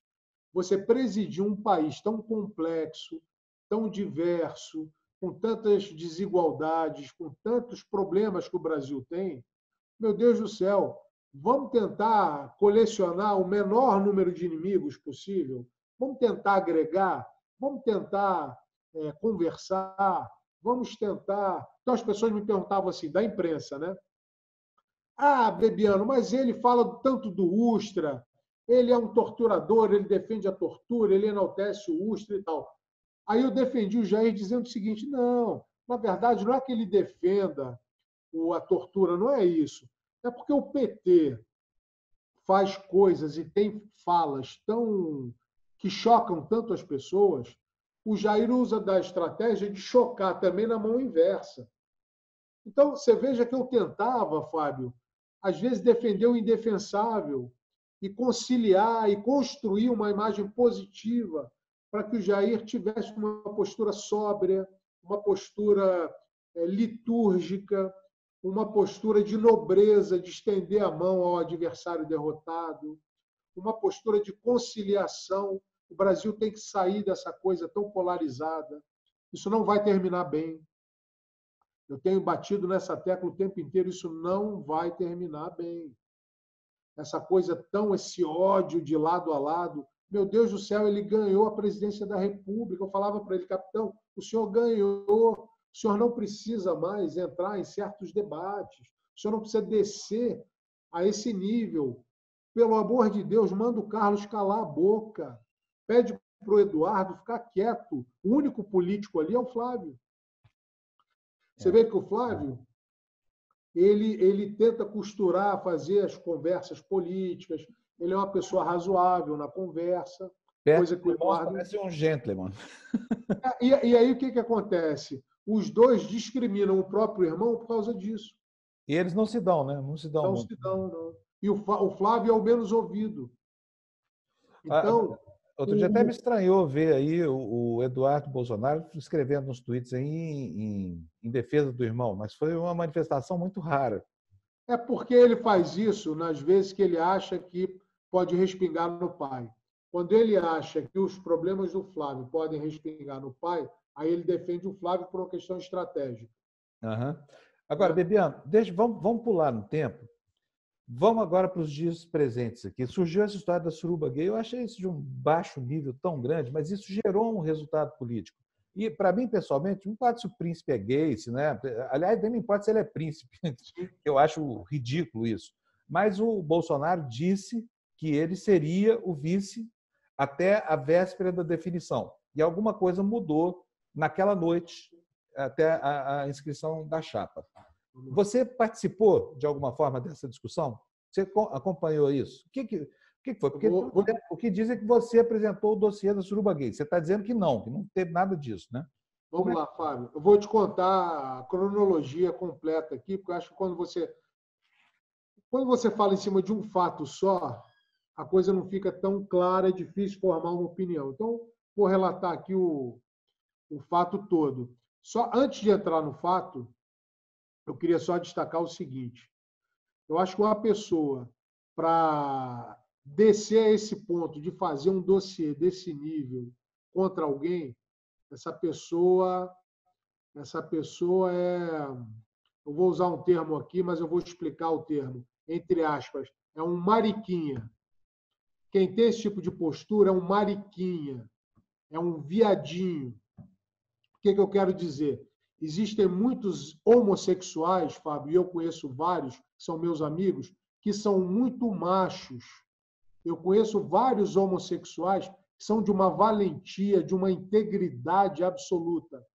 E eu conheço muitos heterossexuais que são absolutamente mariquinhas e viadinhos nas atitudes.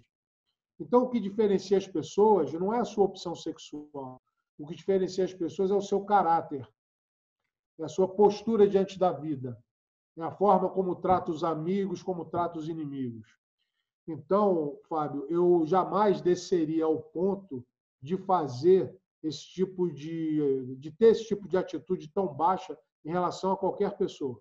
Você, desculpa, você está fazendo a referência ao Carlos Bolsonaro, que tem esse comportamento de viadinho que você falou de mariquinhas, é isso? Não, eu não estou me referindo a ninguém especificamente, eu estou dizendo de um modo geral, a pessoa que fica com esse nhenhenhé.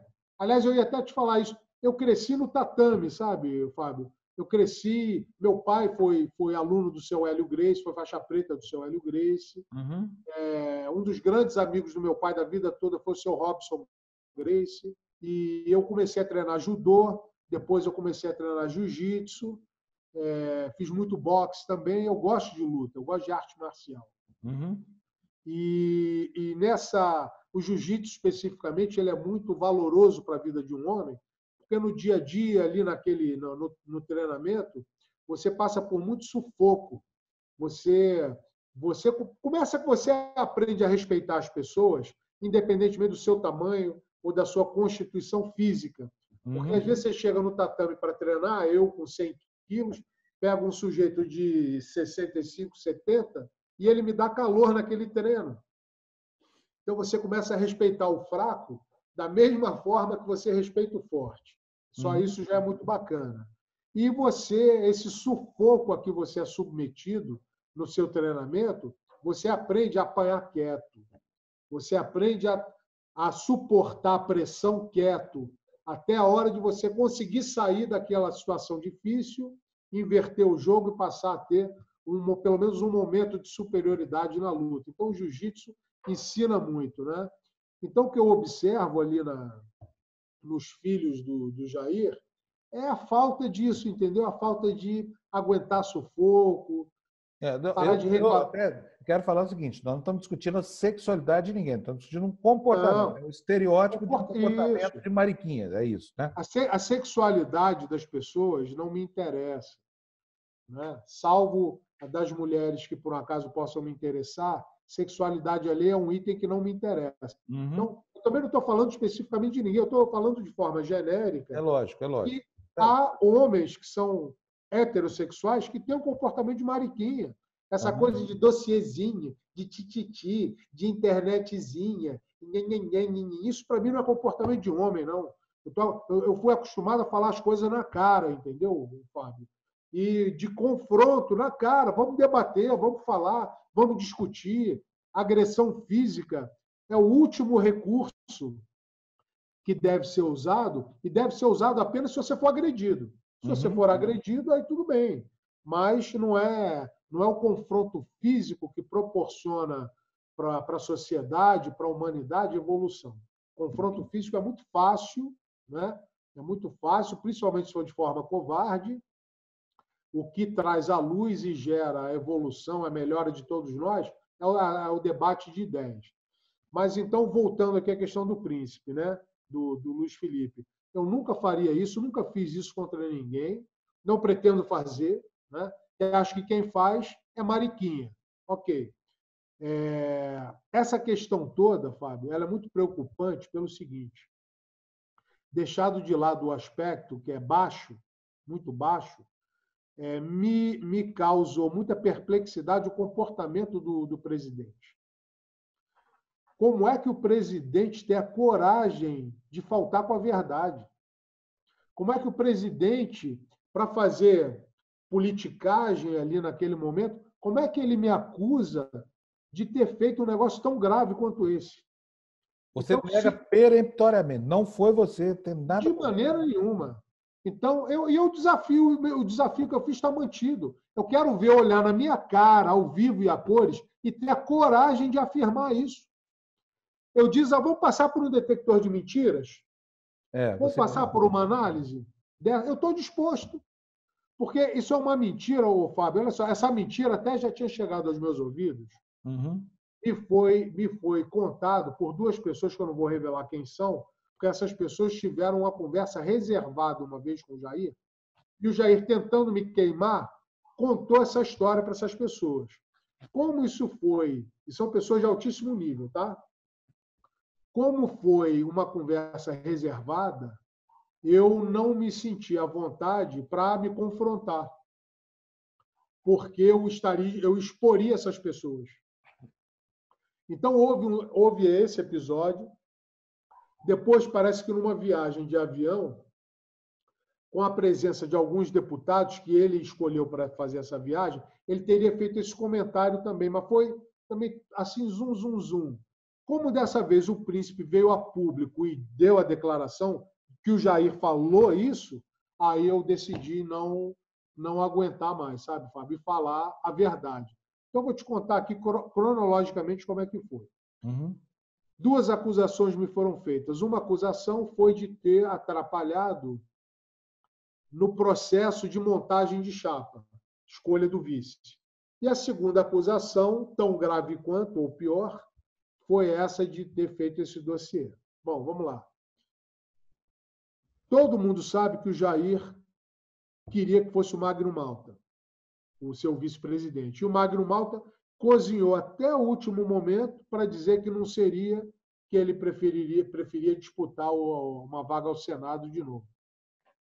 Então, eu quero saber qual é a minha responsabilidade pelo Magno Malta ter desistido. Nenhuma. Depois do Magno Malta, a opção foi o general Heleno. O general Heleno estava afiliado ao PRB, cujo presidente é o Ovasco. O Ovasco, não sei por que cargas d'água, não deixou, quer dizer, eu até sei, mas não vou mencionar, o partido, digamos assim, o PRB, não deixou o general Heleno, não liberou o general Heleno para compor a chapa. Eu quero saber qual é a minha participação nisso. Nenhuma também. Aí, frustrada a ida do general Heleno, eu sugeri a Janaína Pascoal, que para mim era a melhor opção. Por que, que eu escolhi a Janaína Pascoal? Eu acho a Janaína Pascoal uma mulher séria, uma mulher bem intencionada, uma pessoa humilde em termos de postura, patriota, acima de tudo, ela é uma patriota. E eu, eu achava que com a Janaína a eleição estaria ganha no primeiro turno. Se o Jair tivesse me ouvido, ele teria encerrado a eleição no primeiro turno. Duas coisas que eu pedia para ele. Uma era Janaína de vice, e duas era que ele permitisse a participação um pouquinho só da esposa dele. A primeira dama tem uma boa imagem, tem uma imagem muito simpática, tem um trabalho bacana com deficientes auditivos. Então, se essas duas mulheres tivessem participado da campanha, eu, eu acho que ele teria ganhado no primeiro turno. Enfim, eu fui a São Paulo é, conversar ah, numa uma, uma conversa, é, uma tentativa derradeira com o presidente do PRB, o Julian Lemos, deputado federal, me acompanhou nessa viagem com a anuência do Jair para fazer um último apelo para que o general Heleno pudesse ser o vice. Então, essa viagem foi assim: o, o paciente já estava morto, mas a gente deixa tentar aqui ressuscitar. Vamos dar um choque aqui no coração para ver se consegue a, ressuscitar o, o defunto. E aí eu fui com o Juliano Lemos para São Paulo para uma reunião com o Ovasco. Infelizmente, o processo de ressuscitação não, não vingou, não deu certo, e nós saímos dali com um não. Eu liguei, junto com o Juliano Lemos, ligamos para o Jair e dissemos o seguinte: olha, aqui realmente não deu certo. O senhor me autoriza, nos autoriza a procurarmos a Janaína Pascoal e o Jair deu autorização. Nós fomos, então, para o escritório da Janaína Pascoal, ali na Rua Augusta, salvo engano. E, e essa viagem, Fábio, eu tinha ido para São Paulo, era um bate-volta com o Julian. Rio de Janeiro, São Paulo, São Paulo, Rio.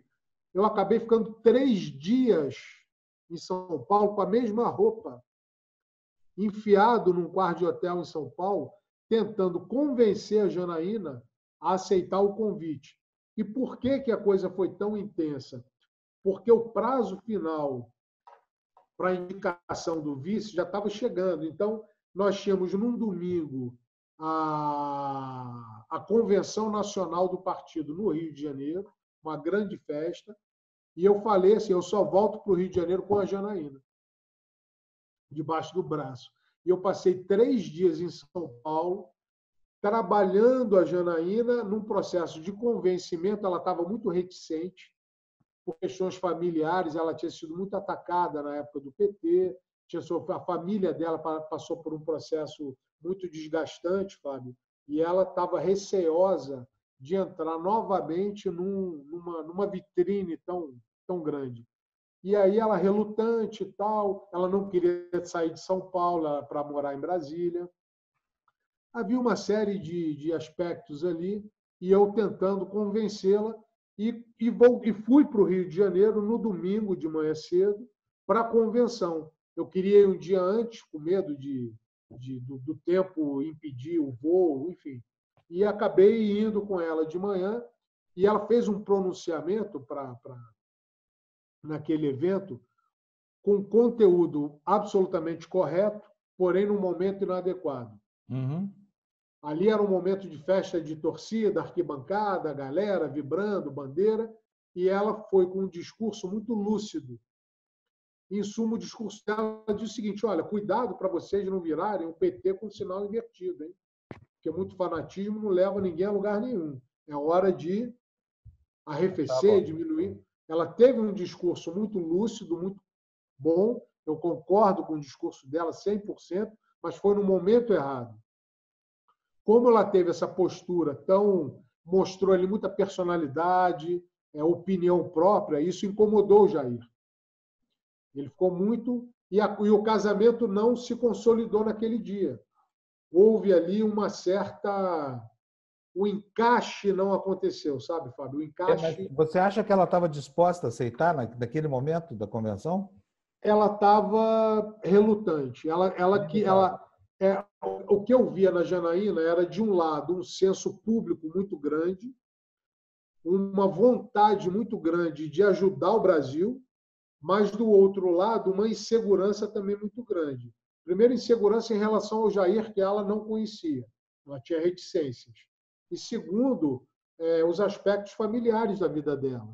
Então, ela estava, eu, eu vi ali nela um conflito muito grande. Uhum. Essa conversa durou ainda muitos, muitos dias. O Jair chegou a dizer que não queria, porque o medo dele sempre foi ter alguém como vice que pudesse ter o interesse no impeachment dele. E eu dizia para ele o seguinte: o capitão, a Janaína é uma pessoa correta. O senhor pode ter certeza que essa postura ela jamais terá. Mas o nível de desconfiança era muito grande. E os filhos, aí entram os filhos de novo. O Eduardo e o Carlos não queriam. Ah, porque é mulher, é porque tem opinião muito forte. Eles querem, eles querem, sempre querem alguém que não faça sombra. Eles, eles não são pelo Brasil, eles são pelo pai. Então, existe uma diferença entre você ter um senso de patriotismo e existe a, é, a você querer uma coisa muito personalista. Mas é o fato de ser mulher constituiu um impedimento? Sim, um, elemento de impedimento? Na minha percepção, constituía sim. Ou seja, são machistas pra caramba. É são, é são machistas. Na minha, na minha visão, são. Bom, aí, Fábio, a coisa não prosperou com a Janaína e chegou num momento que eu passei a ser uma voz isolada. O próprio Julian Lemos dizia: Bebiano, esquece a Janaína, eles não querem, esquece, não vai dar certo, e isso vai ficar na tua conta. aliás, um, ah, um detalhe que eu esqueci: o medo era que durante a campanha, você imagina o seguinte: lançou-se a chapa, chapa Jair Janaína, agosto se durante a campanha, julho ou agosto, durante a campanha, ela começasse a ter uma voz muito independente e começasse a falar coisas que eles não concordavam, o medo era que ela atrapalhasse a campanha também. Uhum. O, medo, o medo não era só questão de impeachment, o medo era ela atrapalhar a campanha com essa fala, como foi no dia da, da convenção nacional. Uhum. Aí, Fábio, eu comecei a ficar isolado, porque as pessoas, o próprio Julian, pô, Bebiano, cuidado, que você está sozinho defendendo a Janaína, ou aí, ah, não defendendo a Janaína, defendendo o ingresso da, da Janaína na chapa, cuidado que você pode ficar sozinho amanhã, que é um problema, vai ficar tudo na sua conta. O Paulo Marinho passou a me dizer isso também, e outras pessoas. E eu comecei a ficar isolado. Chegou num momento que, pô, falei, eu não, Está ficando ruim para mim essa situação. E a coisa foi: o Jair não quis de um lado, a Janaína também continuou reticente do outro lado, e aí não aconteceu o que eu achava que seria o melhor. Quem vai ser então? Como é que vai ser isso? Aí, pô, General Mourão. Aí o Jair descartou de cara, o Mourão não. O príncipe. Então vamos ao príncipe. Desculpa, eu... Desculpa, por que, que ele descartou de cara o general Mourão? Ele não explicou, ele simplesmente. Uma coisa que também, pô, né, acho que ninguém sabe, pouca gente sabe, é o seguinte, Fábio. Eu sou muito simpatizante em relação ao Mourão, sempre fui. E durante ainda a fase ali que antecedeu abril, estamos falando de março, por aí, o meu sonho dourado era que o general Mourão fosse governador do Rio de Janeiro. Porque o Rio de Janeiro, de um lado, é dominado por traficantes do outro lado é dominado por milícias, e do outro lado um bando de cafajestes também, entendeu? O Rio de Janeiro precisa de um choque de ordem, o Rio de Janeiro precisa ser pacificado. Então eu enxergava no general Mourão uma personalidade forte o suficiente, combinado com, com o preparo que ele tem enquanto general. Ninguém chega a general sem passar por um funil muito estreitinho, o cara tem que ser muito bom para chegar lá. Então, o meu sonho era o general Mourão, governador do Rio de Janeiro. E o Jair já se contrapunha a isso. O Jair dizia que não.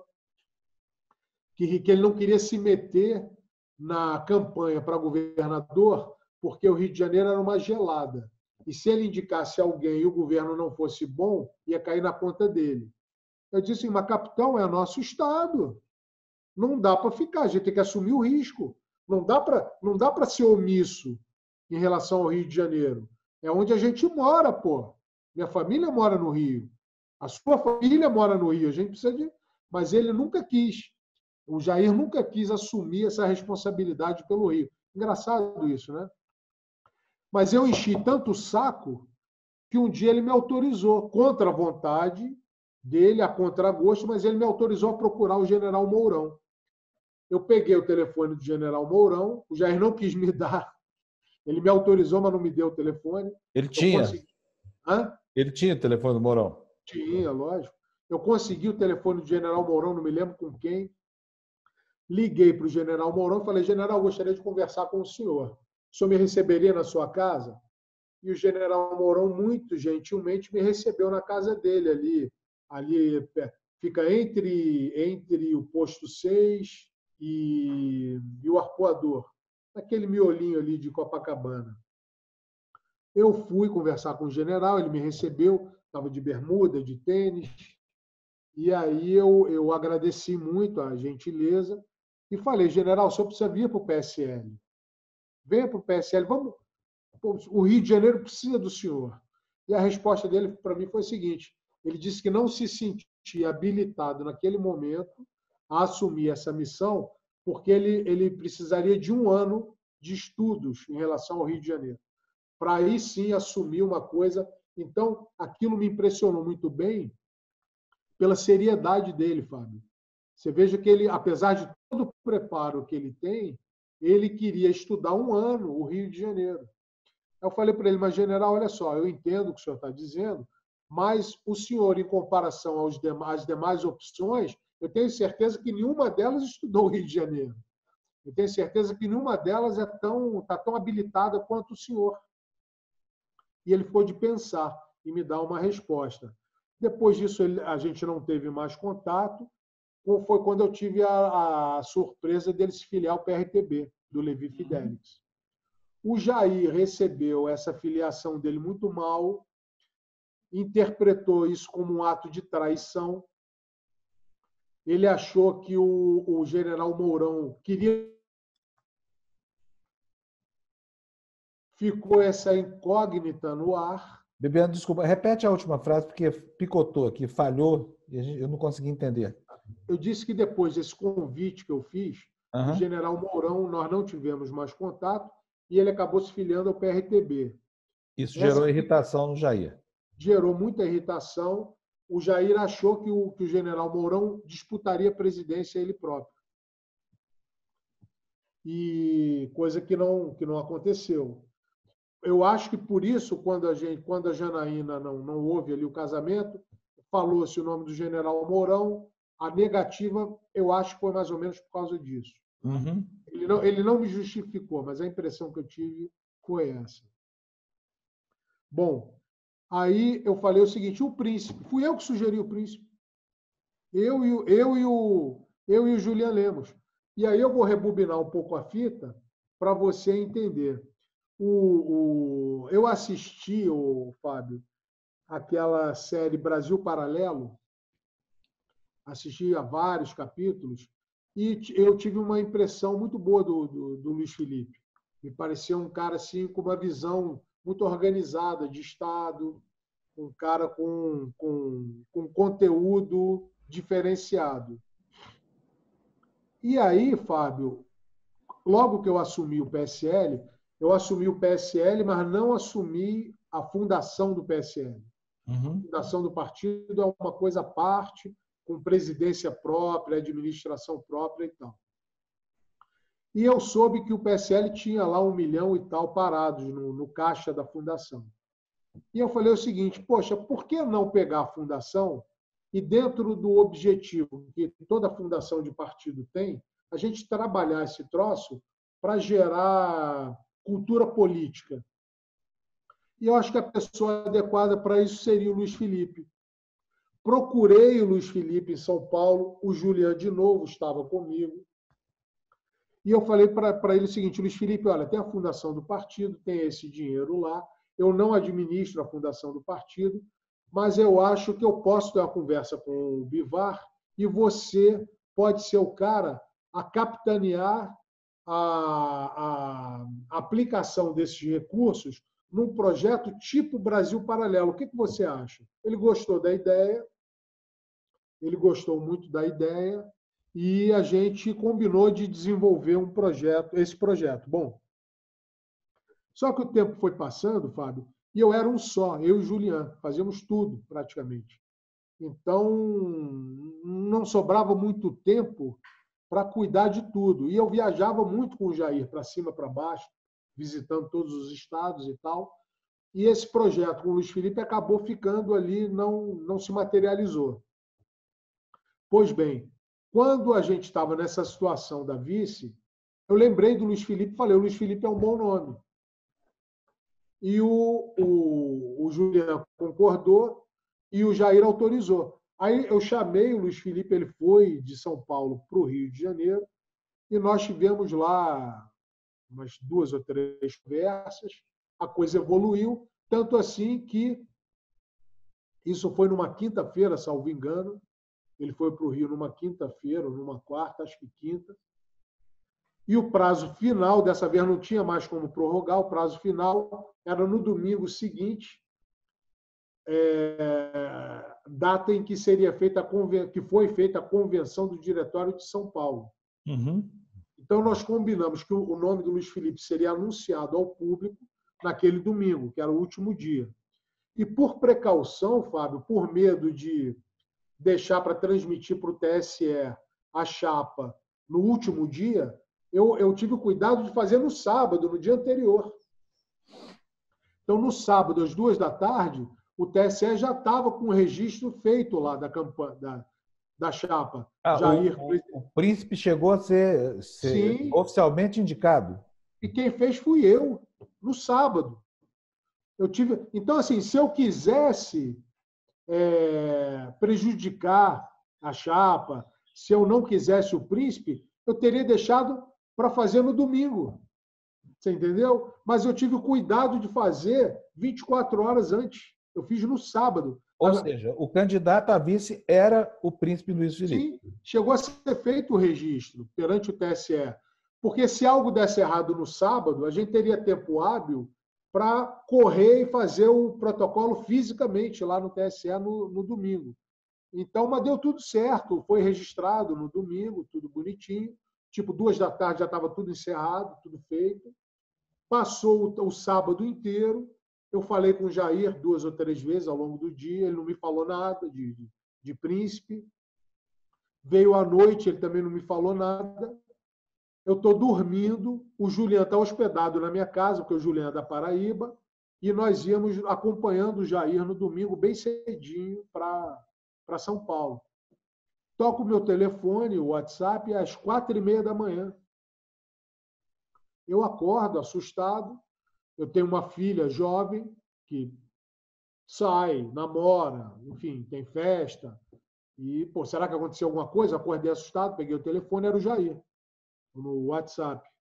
E aí o Jair é, disse para mim o seguinte, que tinha recebido de um delegado da Polícia Federal e de um coronel do Exército da área de informações um dossiê contra o príncipe. Aí eu perguntei, mas dossiê do quê? Aí ele explicou mais ou menos o que, que era. É, eu ainda questionei, mas a, a, procedência desse dossiê, capitão, ele falou, não. Aí ele disse que era o tal delegado e o coronel, e, e disse que estava já conversando com o Mourão.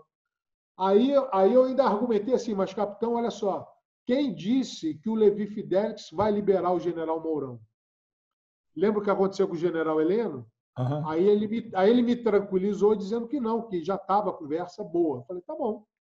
Levantei, fui até o quarto onde estava o Julian, acordei o Julian e botei o, o, os dois para falarem. Aí o Jair repetiu para o Julian toda a história. Eu fiquei perplexo, o Julian também. Nós levantamos, cada um foi tomar banho lá no seu banheiro e tal, e fomos para o aeroporto. Quando eu estou no, na praia do Flamengo, porque aos domingos o aterro é fechado para a área de lazer, a gente está dentro do táxi na praia do Flamengo, toca o telefone de novo, Jair, pedindo que eu ligasse para o Luiz Felipe para questionar essa coisa de festa e de negócio de bater em mendigo. Eu falei assim, capitão, como é que eu vou ligar para o Luiz Felipe a essa hora da manhã para perguntar se ele participa de festa gay e se ele dá porrada? Capitão, falou, é missão, porra, liga aí, liga aí, que é missão, missão, missão. Liguei para o Luiz Felipe. Que missão, hein? Olha, olha a situação, Fábio. Aí eu liguei muito né, constrangido, eu falei, ô, ô, Luiz Felipe, olha só, a vida nos bota em situações difíceis e tal. Eu estou te ligando aqui porque o Jair pediu. Parece, eu não afirmei, não, eu falei assim, parece que tem um. Ele recebeu lá alguma coisa, uma informação que você teria algum envolvimento com o negócio de baile de máscara, umas festas. Eu não entendi direito, ainda falei assim. E negócio também, negócio de briga de rua. Eu, eu não entendi direito. Tem alguma coisa, Luiz Felipe, que você queira me contar? Ah, eu ainda falei assim, que é muito importante, Luiz Felipe, você vai, você vai ser alvo de muitos ataques. Então é muito importante que a gente compartilhe todas as informações. Você tem algum telhado de vidro? Tem alguma coisa que possa denegrir a sua imagem?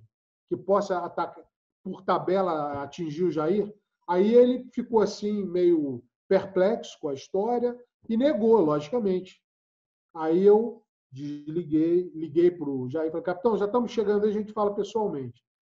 O táxi, mais alguns minutos, chegou no, no, no aeroporto do Santos Dumont.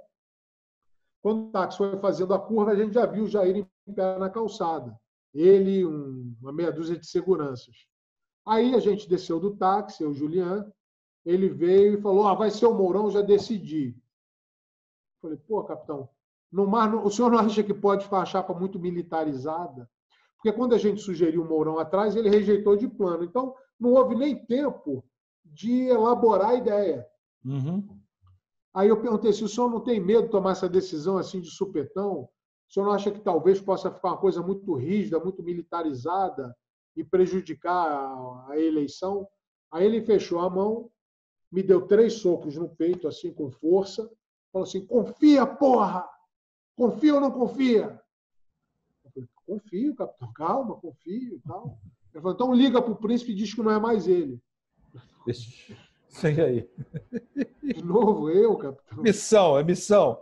Aí ele, ele brincava comigo, ele me chamava ou de gordo, que eu engordei muito ao longo da, da pré-campanha e da campanha. A campanha nem, nem tinha começado ainda, já tinha engordado uns 8 quilos. Ou ele me chamava de gordo, ou ele me chamava de para-raio. Essas missões todas ele dava para mim, né? ou para o Juliano, mais para mim. Aí eu fui para um canto assim, me afastei dele, o Juliano foi comigo e ligamos para o Luiz Felipe. Aí eu falei, Luiz Felipe, olha só, o, você sabe que essa escolha é uma coisa muito delicada, isso é uma questão personalíssima do Jair, e ele decidiu aqui optar pelo Mourão. Aí o príncipe virou e falou assim: Eu sabia que você e o Julian estavam não gostavam, não gostam de mim, estavam trabalhando contra. Eu falei assim: Olha, Luiz Felipe, se você vai tomar esse rumo, eu vou te dizer o seguinte: você está primeiro superestimando uma influência que eu não tenho, nem o Julian. E é o seguinte: daqui a uma hora a gente está aí. A gente vai, daqui a uma hora o avião está posando, a gente vai para a convenção. Você, imagino que você esteja na convenção, você chama o Jair e conversa com ele. Aí ele vai te dizer. Eu estava tranquilo. eu sempre achei o Jair uma pessoa de boa fé. Aí tomamos o avião. Quando a gente chega na, na convenção, a primeira pessoa que eu dou de cara é ele. Emburrado. Aí eu cumprimentei e falei assim: olha, você está enganado no julgamento que você está fazendo. Converse com o Jair e você vai ver que não é isso que você está pensando. Aí ele ficou tentando se aproximar do Jair para ter uma conversa, e o Jair, ele se aproximava do Jair, Jair saía fora. Saía fora, não conversaram. Aí o, teve a convenção né, do, do PSL e a gente teve que sair para ir para a convenção do PRTB, onde estava o Levi Fidelix, o, o general Mourão e tal. Saímos, foi aquele clima meio pesado e tal.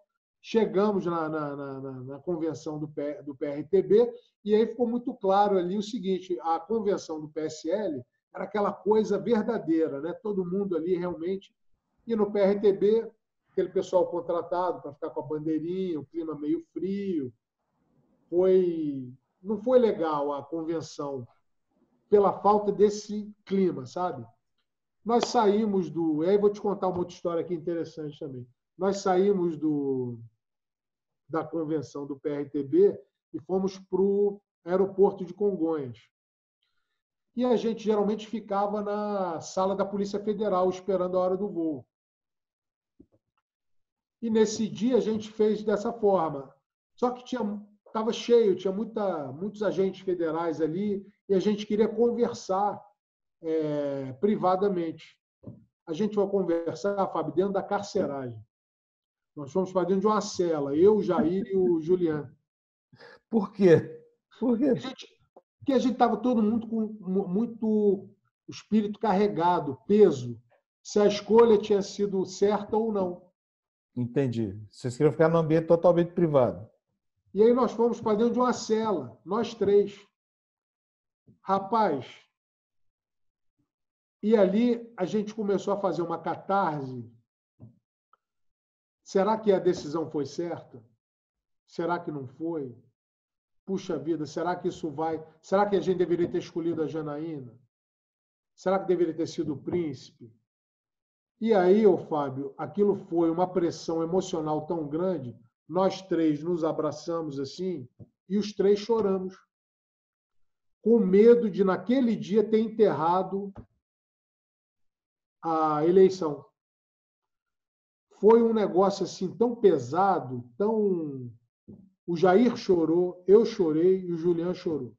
Quer dizer, ele não havia comprado o Mourão, mesmo depois que o Mourão já estava entregue. É isso? Não, é isso. Eles nunca, ele nunca quis o Mourão por perto, então, é isso? Nem depois da escolha. Ali, eu acho que não era nem. Ali, Fábio, eu vou te dizer que talvez fosse 70% medo eleitoral de como seria a reação do eleitorado. Uhum. Porque é o seguinte, o Jair tinha um teto. Os bolsominions, os caras que é, tem um teto, aquilo é 18%, no máximo 20% do eleitorado. Ele precisava pôr de muito mais do que isso para ser eleito. Então, havia ali um, um meio do caminho que o Paulo Guedes, por exemplo, ajudou muito a conquistar a confiança eu, eu, eu, diria que não é o eleitor do Jair, foi o eleitor contra o PT. É, é o, o, Centro Democrático Brasileiro, né? são os players do mercado financeiro. E foi o eleitor que votou no Jair com ressalvas. Uhum. E na minha cabeça era esse eleitor que ele tinha que fidelizar depois de eleito. Como? Com sobriedade, com liturgia, com moderação. Aí ele ia consolidar esse voto ia se transformar possivelmente num dos grandes estadistas do Brasil, se ele ouvisse os generais, o Paulo Guedes, ouvisse ali pessoas mais qualificadas. Bom, então, Fábio, você vê o seguinte: nesse momento ali da, da, da escolha do vice, quando bateu o martelo e não dava mais para voltar atrás, é que deu aquela. A adrenalina baixou, aquela tensão, e aí as emoções se afloraram. Então, para quem viveu isso tudo com o Jair dessa forma, foi exatamente isso que eu estou te falando, tintim por tintim, não tem uma vírgula fora do lugar. Depois de ter vivido isso tudo ali comigo, ele ter a coragem de me acusar, eu de ter feito esse dossiê. Eu nunca vi esse dossiê. E, para te falar a verdade, hoje, Fábio, eu duvido que esse dossiê tenha existido. Teria sido eu, só uma justificativa para ele afastar o príncipe por preconceito contra por homofobia, é isso? Eu acho. Ele, porque olha só, nem cronologicamente faz sentido. Às duas da tarde já estava feito o registro da chapa no TSE. Tudo consolidado. Passou a tarde inteira, o Jair não me falou nada. Passou a noite inteira, ele também não me falou nada. Venhamos e convenhamos. Se alguém tivesse entregado um dossiê desse para ele, às 10 da noite, ele teria me avisado, concorda? Uhum. Às 11 ele teria me ligado. Teria me chamado à casa dele. Então, assim, pô, o cara entregou o dossiê para ele, o que? Às três da manhã? Para ele me ligar às quatro e meia? Então, assim, hoje, eu até acho que esse dossiê nunca existiu. Eu até admito essa possibilidade. Entendeu? E me causou muita perplexidade essa coisa dele querer botar na minha conta, mais essa. Por quê, hein? Aí tem que perguntar para ele. É... Depois de tanto tempo, houve alguma rusga entre vocês depois, depois não, de... mais nada? Não, o, que, o, que eu, o que eu imagino que esteja irritando é eu me manifestar toda hora. E eu, só que eu me manifesto, Fábio, em relação ao corrente. Uhum. Eu me manifesto ao que é, em relação ao que é público e notório. Uhum. Eu não sou um rato para fofocar coisas que foram da nossa intimidade, entendeu? Entendi. Então, eu, eu comento as posturas que está todo mundo vendo. Os filhos, defender as cinco, o Carlos briga. Essa briga com o PSL, isso é um negócio insano. Isso não era para ter existido. Então, quando eu vejo esse processo destrutivo, o que foi feito com o general Santos Cruz, quando eu enxergo esse mar de destruição desnecessariamente é, existente, isso me causa perplexidade eu me manifesto como qualquer brasileiro tem o direito de se manifestar. Eu acho que a gente ainda está num regime democrático, né? É, então, ainda, ainda. Então eu me manifesto com perplexidade até para ver se ele acorda. Eu falo o que eu falaria para ele, em particular, Fábio. Eu falo para o bem dele, cara. Eu quero que ele acabe o mandato dele. Eu Você acha que, que a democracia seja... brasileira corre risco com, com esses comportamentos dele, Bebiano? Francamente, porque essa é uma questão muitíssimo importante. As coisas estão, estão ganhando uma, uma, uma dinâmica no Brasil.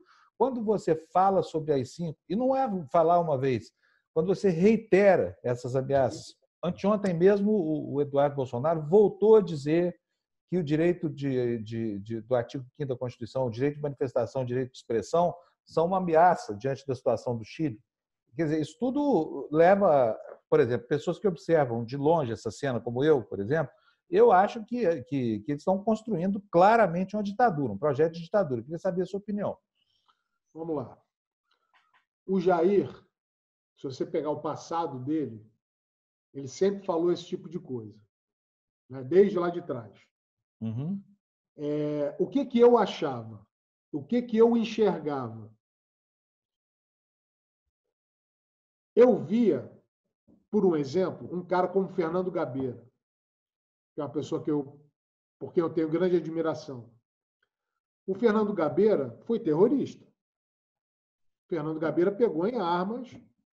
Né? O Fernando Gabeira participou do sequestro lá do, do, do americano. Fernando Gabeira não foi flor que se cheirasse naquela época. Uhum. Só que o Gabeira amadureceu, envelheceu, reformulou as ideias dele e, de maneira muito corajosa e muito honesta, o Gabeira diz, diz, o seguinte: quem pegou em armas naquela época, como eu, Gabeira, peguei, não queria democracia coisa nenhuma, não. Uhum. Queria uma ditadura do proletariado. Ele, Gabeira, não usa esse discurso falso da Dilma, por exemplo, que lutou pela democracia. Uma ova que lutou pela democracia. Uhum. Então, quando eu vejo uma pessoa como Gabeira amadurecer ao longo dos anos e tratar as coisas da forma como ele trata, com lucidez e verdade, eu enxergava, ou pelo menos eu queria que o Jair tivesse passado por um processo de amadurecimento similar ao do Gabeira. Então, apesar de ter falado as coisas que ele falou, comigo na intimidade, o Fábio, ele, ele se revelava uma pessoa bastante mais amadurecida. Tanto assim que ele era o primeiro a dizer que não queria reeleição. O tempo inteiro ele disse que não ia disputar a reeleição. Foi um compromisso de campanha e que eu enxergava como uma verdade, porque na intimidade ele falava aquilo para gente. O que também está se revelando, o que não era uma verdade tão consistente assim, porque já fala então, claramente então, de disputar. Vamos lá. Então eu enxergava que o Jair tinha passado por um processo de amadurecimento. Meu filho, pega uma água para o seu pai, por favor. Tinha passado por um processo de amadurecimento similar ao do Gabeira. Eu acho que o Gabeira é um bom parâmetro de comparação. Bom, uhum. então, o que, que eu acho, Fábio? Eu acho o seguinte: o Jair, obrigado. O Jair desenvolveu, desde sempre, teorias de conspiração na cabeça dele. Os filhos é, têm essas teorias de nutrem essas teorias de conspiração que aprenderam em casa. Uhum. Então, você tem o criador e as criaturas ali. Ok. O Jair, é, ele tem, às vezes, dificuldade em fazer autocrítica. Então, por exemplo, ele foi praticamente expulso do exército. Ele foi chamado e disse o seguinte: negão, ou você sai ou você vai ser expulso.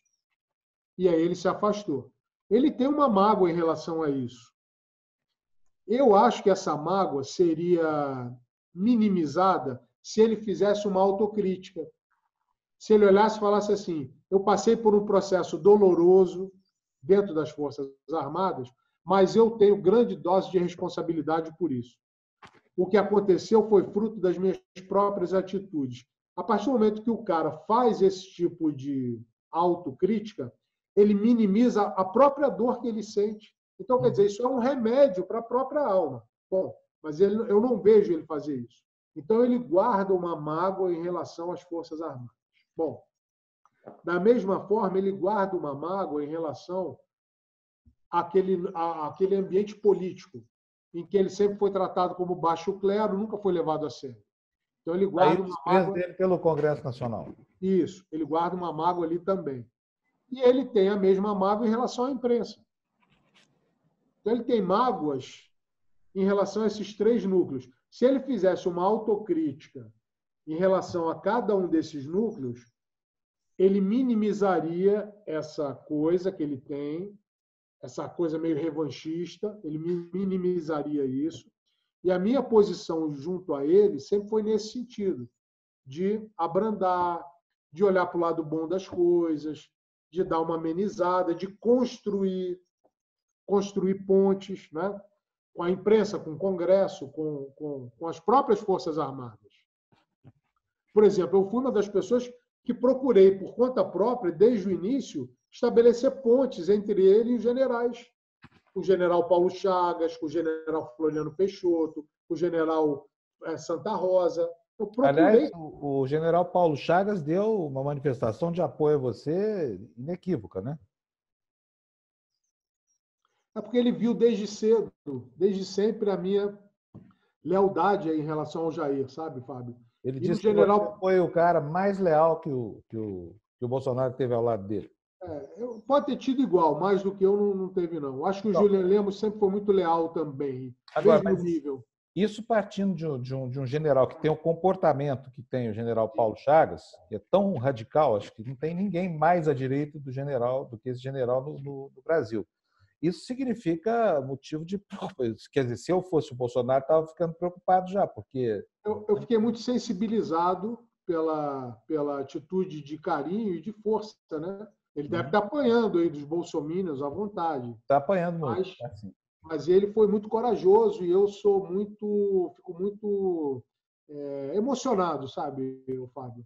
Porque Olha, o que aconteceu não, eu, eu, eu, vejo, eu vejo isso, a minha leitura pessoal, dizer, a minha opinião não, não significa nada, eu estou aqui para fazer perguntas, mas eu queria dizer que me parece que o comportamento do presidente da República é, é tão desagregador que ele está conseguindo construir isolamentos à sua esquerda e à sua direita também. Pois é, e esse, esse isolamento, ele esse isolamento tem a ver com a sua preocupação, que é a minha também, que a gente estava comentando. Uma coisa está vinculada à outra, você, você, eu vou, vou me fazer entender já já. Então você vê o seguinte: ele, ele, essa mágoa que ele tinha em relação a esses três núcleos que ele cultiva e essas teorias de conspiração é, fazem com que ele esteja sempre desconfiado de tudo e de todos, né? Aí vem a facada. A facada, Fábio, vamos, né, vamos aqui ser bem assim, pé no chão, né? Não há ser humano que sofra um atentado como esse que ele sofreu que saia sem sequelas emocionais graves. Não tem como. Eu vi a cirurgia toda. Eu eu tava, entrei com ele na emergência do hospital em Juiz de Fora. Se você me perguntar como eu fui parar dentro do centro cirúrgico, eu também não sei. Quando eu vi, eu estava com aquela roupa toda verde, touca. O Carlos do meu lado, chorando que nem criança, o que é natural. No lugar dele, eu também estaria da mesma forma. Uhum. Eu abracei o Carlos. Deita aqui, Carlos, aqui no, no meu colo aqui, cara. Abaixa a cabeça, não olha, só reza pelo teu pai. A gente viveu junto aquele negócio ali. E eu vi os médicos botando as vísceras dele para fora, botando assim, arrumando em volta do tórax, é para um negócio horroroso, Fábio. E quem passa por um negócio desse não sai da mesma maneira que entrou. Então, na minha avaliação, essa facada foi uma chancela em cima de todas as teorias de conspiração que ele sempre alimentou. A facada foi tipo assim, o carimbo, olha só, você tem razão. Você realmente tem que ser cultivar, não pode confiar em ninguém, tem que cultivar essa, essa, as suas teorias. Ele saiu pior do que entrou. Ou seja, a facada não matou o Bolsonaro, mas matou talvez o, o que havia de democrata no comportamento dele, é isso? Eu acho que matou o lado bom da alma dele. Não que essa alma não possa ser ressuscitada, ela pode.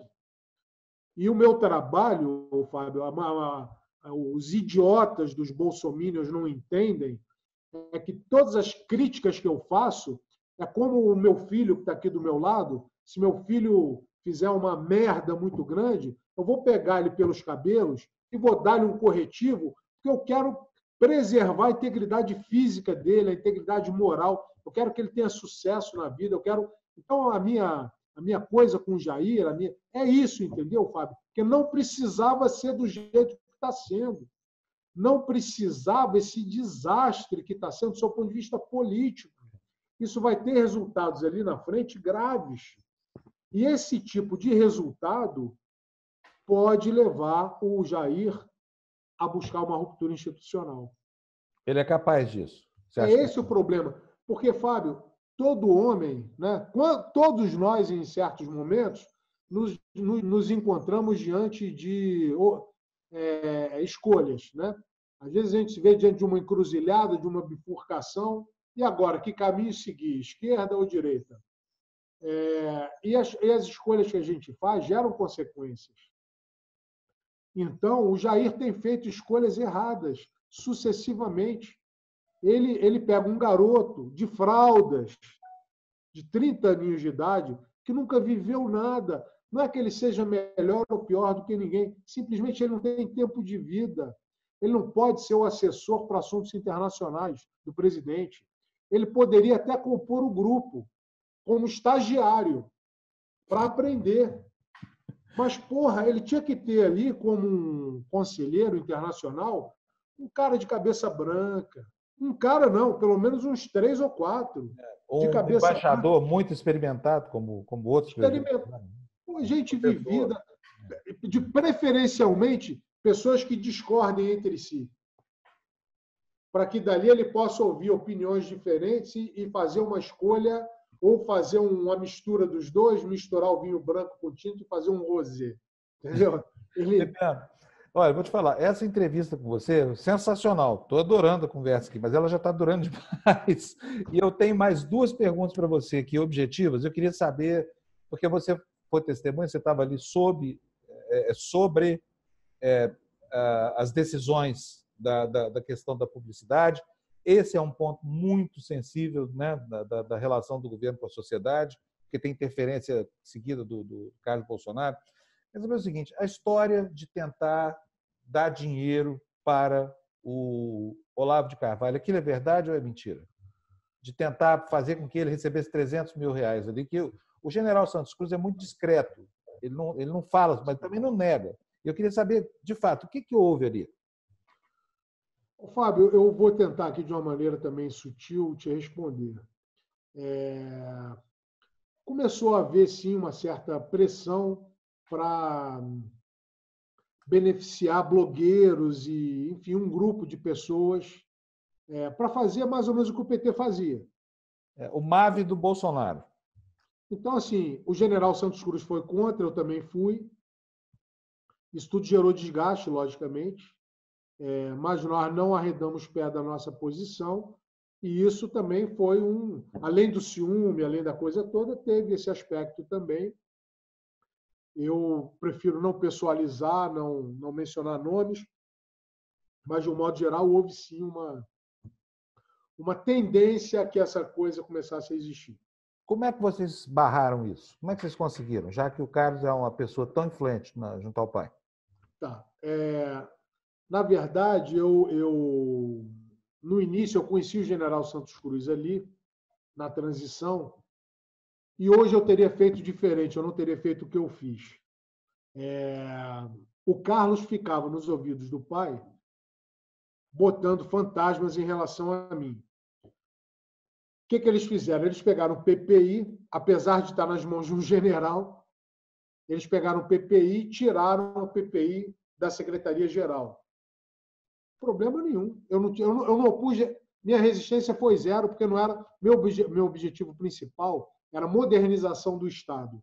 Era um outro trabalho. Bom, PPI foi embora. Ficou a SECOM, de importante para mim. Um belo dia eu chamado à sala do Jair e eles me comunicam o seguinte: olha, nós queremos botar como secretário o Floriano. Me esqueço o sobrenome dele. É um rapaz, uma pessoa que me parece um cara de bom caráter, uma pessoa séria, mas era um rapaz que trabalhava no gabinete do Eduardo Bolsonaro, colocando legenda em vídeo para ir para a internet. Quantos subordinados essa pessoa tinha? Nenhuma. Ele fazia esse trabalho solitário ali. E aí eu disse o seguinte: olha, desculpem, eu gosto do Floriano, eu acho o Floriano uma pessoa bacana, mas eu não enxergo no Floriano um, um competência necessária para cuidar de 2.500 funcionários, porque só a EBC são 2.300, se não me falha a memória. Então, a gente precisa de alguém com perfil executivo e que tenha é, muita representatividade, uma pessoa que tenha peso para essa função. Eu acho que o Floriano, desculpe, não está habilitado para gerir esse SECOM. E aí eu comecei a apanhar internamente. Aí eu fui descobrir que era o Carlos que queria botar o Floriano na SECOM. Uhum. Porque seria uma pessoa manipulável por ele, facilmente manipulada pelo Carlos, pela, pela pressão que o Carlos exerceria. E aí eu questionei, eu disse o seguinte, vem cá, a gestão vai ficar com o Floriano ou com o Carlos? Ah, não, realmente o Carlos vai ficar por trás, supervisionando. Eu falei o seguinte, vamos fazer o seguinte, vamos pegar a SECOM Dá para o dá pro general Santos Cruz? Passa para a Segovia, Secom. Eu não vou ficar com a Secom. E aí eu tenho até uma mensagem do Jair me agradecendo. É, de, ó, te devo mais essa. Porque a Secom comigo e o Carlos não ia dar certo. Ia ser uma área de atrito imensa. Só que, sem querer, eu passei um abacaxi gigantesco para o general. Porque eu achei que o general no alto da sua estatura de general, uma pessoa mais velha e tal, eu achei que o Carlos fosse respeitá-lo. Pelos 40 anos de tradição de amizade com o Jair, eu achei que o Carlos não teria peito para fustigar o general. E eu estava enganado. Então o general. Acabou... ilusão, né? Doce ilusão. General, é, o Carlos não foi nem um pouco respeitoso com ele. O general acabou recebendo a SECOM, foi um abacaxi danado, que assim, acabou acelerando a saída dele. Né? Então foi, foi bastante ruim isso. Então quer dizer que houve sim essa pressão que, que eles negam para beneficiar a blog, para, enfim, botar um serviço pago aí de fake news. E, e, essas figuras, por exemplo, esses fantasmas aí, Alain Terça Livre. Conta para mim, como é que aparece uma alma penada dessa dentro, dentro da presidência da República do, do Brasil? Pois é, Fábio, é, é muito preocupante, sabe? Você, vamos pegar esses diferentes pontos e vamos agregá-los num, num quebra-cabeça, né? Vamos unir as peças aqui. Você pega de um lado o Jair destruindo toda e qualquer ponte política. Primeiro ele briga com com, com o Rodrigo Maia, agora está tá uma relação tranquila. Mas você acha que o Rodrigo Maia confia nele? Você acha que alguém ali do Congresso confia nele? Então ele rompe as pontes com o Congresso. Depois ele rompe as pontes com, com os próprios militares.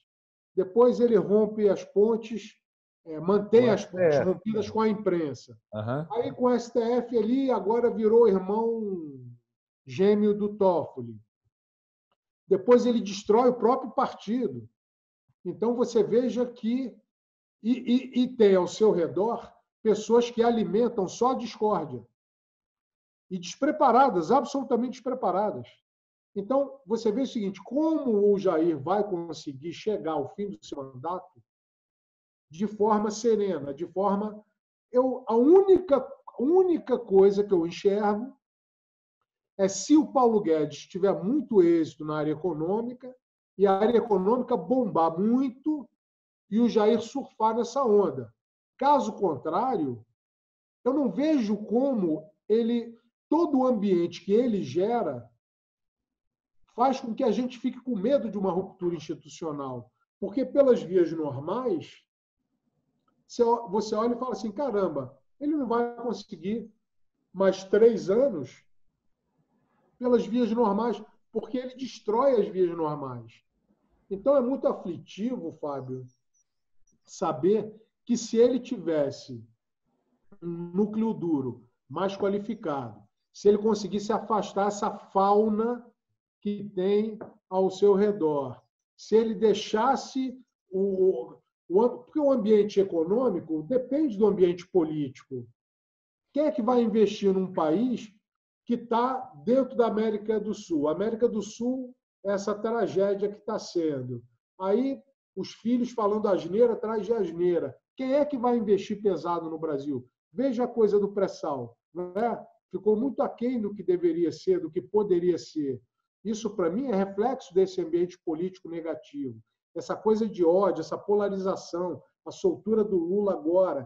Então, eu realmente estou muito preocupado com, com o nosso país bem preocupado, Fábio. Olha, última observação que eu quero fazer aqui: o comandante do Exército soltou ontem uma, uma nota muito lúcida, muito tranquilizadora, porque falou o tempo inteiro em profissionalização das Forças Armadas, no profissionalismo, essa coisa toda. Quer dizer, me parece uma posição muito diferente, por exemplo, da do, do ex-ministro Vilas Boas, que hoje é assessor do, do presidente, né? e que de quando em quando quando ele não está contente com alguma coisa que acontece no Brasil, ele faz uma ameaça expressa, como fez ao Supremo Tribunal Federal. Mas a coisa não está bem encaminhada no Brasil. Quer dizer, a democracia tem sofrido. Veja bem, Fábio, veja bem o seguinte. Em 2013, houve várias manifestações violentas de rua. Uhum. Bancos depredados, agências de automóvel. Foi um negócio violento e preocupante ali em 2013. Graças a Deus, os ânimos se arrefeceram, a gente passou por aquilo, veio um processo de impeachment absolutamente dentro das regras do jogo, com tudo previsto na Constituição, com a participação do Supremo, etc. Você agora imagine aquele momento de 2013, 10% do que foi aquilo hoje. Você acha Se que hoje não, não, não teria um equilíbrio emocional para fazer o que o governo da época fez? O governo atual hoje... fez se hoje, no, se hoje houver 10% do que houve em 2013, em termos de manifestação de rua, pode gerar atitudes mais fortes por parte do governo, coisa que não houve naquele momento. E isso realmente é muito preocupante. Eu confio 100% nas Forças Armadas. Eu sou um civil de coração verde-oliva. Eu acho que o que há de melhor ali em torno do presidente são os generais. E eu rezo todo santo dia para que ele passe a ouvi-los, afaste a fauna e coloque gente de bem e com preparo para conduzir os rumos do Brasil. Última pergunta, Bebiano. Esse assunto é da maior importância, né? É, eu, mas eu gostaria de saber de você. Não me parece que ele tenha entrada nas Forças Armadas hoje para tentar um movimento golpista. No entanto, ele tem falado diretamente às polícias militares. Aqui em São Paulo mesmo aconteceu outro dia algo extremamente grave na formatura dos sargentos, em que o comandante em chefe da Polícia Militar de São Paulo foi vaiado e ele foi ovacionado pela, pela tropa. Se isso fosse em Brasília, imagina o presidente Bolsonaro sendo vaiado numa formatura de sargentos em, em Brasília. Né? A gravidade desse, desse episódio. E, por outro lado, tem certas, digamos assim, forças auxiliares, por exemplo, caminhoneiros, né? Que a todo momento se oferecem para uma aventura maluca contra a, a, democracia, a ordem institucional, essa coisa toda. É isso que te assusta? São, é, é essa conversa direta com certos setores aí que que não prezam muito o respeito institucional? O Fábio, o que me preocupa é que eu percebo um clima que basta um fato pouco mais ácido, né, pode desencadear. Eu acho que está um climão, digamos assim. O Brasil está vivendo um climão que qualquer fato um pouco mais pode desencadear uma briga que a gente sabe como começa e não sabe como acaba. É muito difícil prever que instituições, que núcleos, quem participaria para um lado, para o outro. Eu prefiro nem entrar muito nesse cenário, mas é, o que existe é um climão. E esse climão tem que acabar. Esse, é um, esse é um climão... clima de pré-golpe, é na sua opinião? Não, não ouvi, perdão? É um clima de pré-golpe. É um clima de que um tapa pode desencadear uma briga generalizada no meio da torcida. Um, um tapa, um peteleco. Está todo mundo muito dono da verdade, com os ânimos muito acirrados. E eu me manifesto sempre com esse propósito. É preciso arrefecer, é preciso abaixar a bola, é preciso que os brasileiros se olhem até como adversários, mas não como inimigos. Né? Uma coisa é a diversidade política, outra coisa é o confronto como se fôssemos inimigos. Isso é péssimo. O PT construiu isso lá de trás e, infelizmente, o governo o Jair tem alimentado essa, esse espírito. Né? E se é preciso que alguém estenda a mão e aí abaixa a bola. E eu acho que quem tem a obrigação de fazer é quem saiu vitorioso das últimas eleições.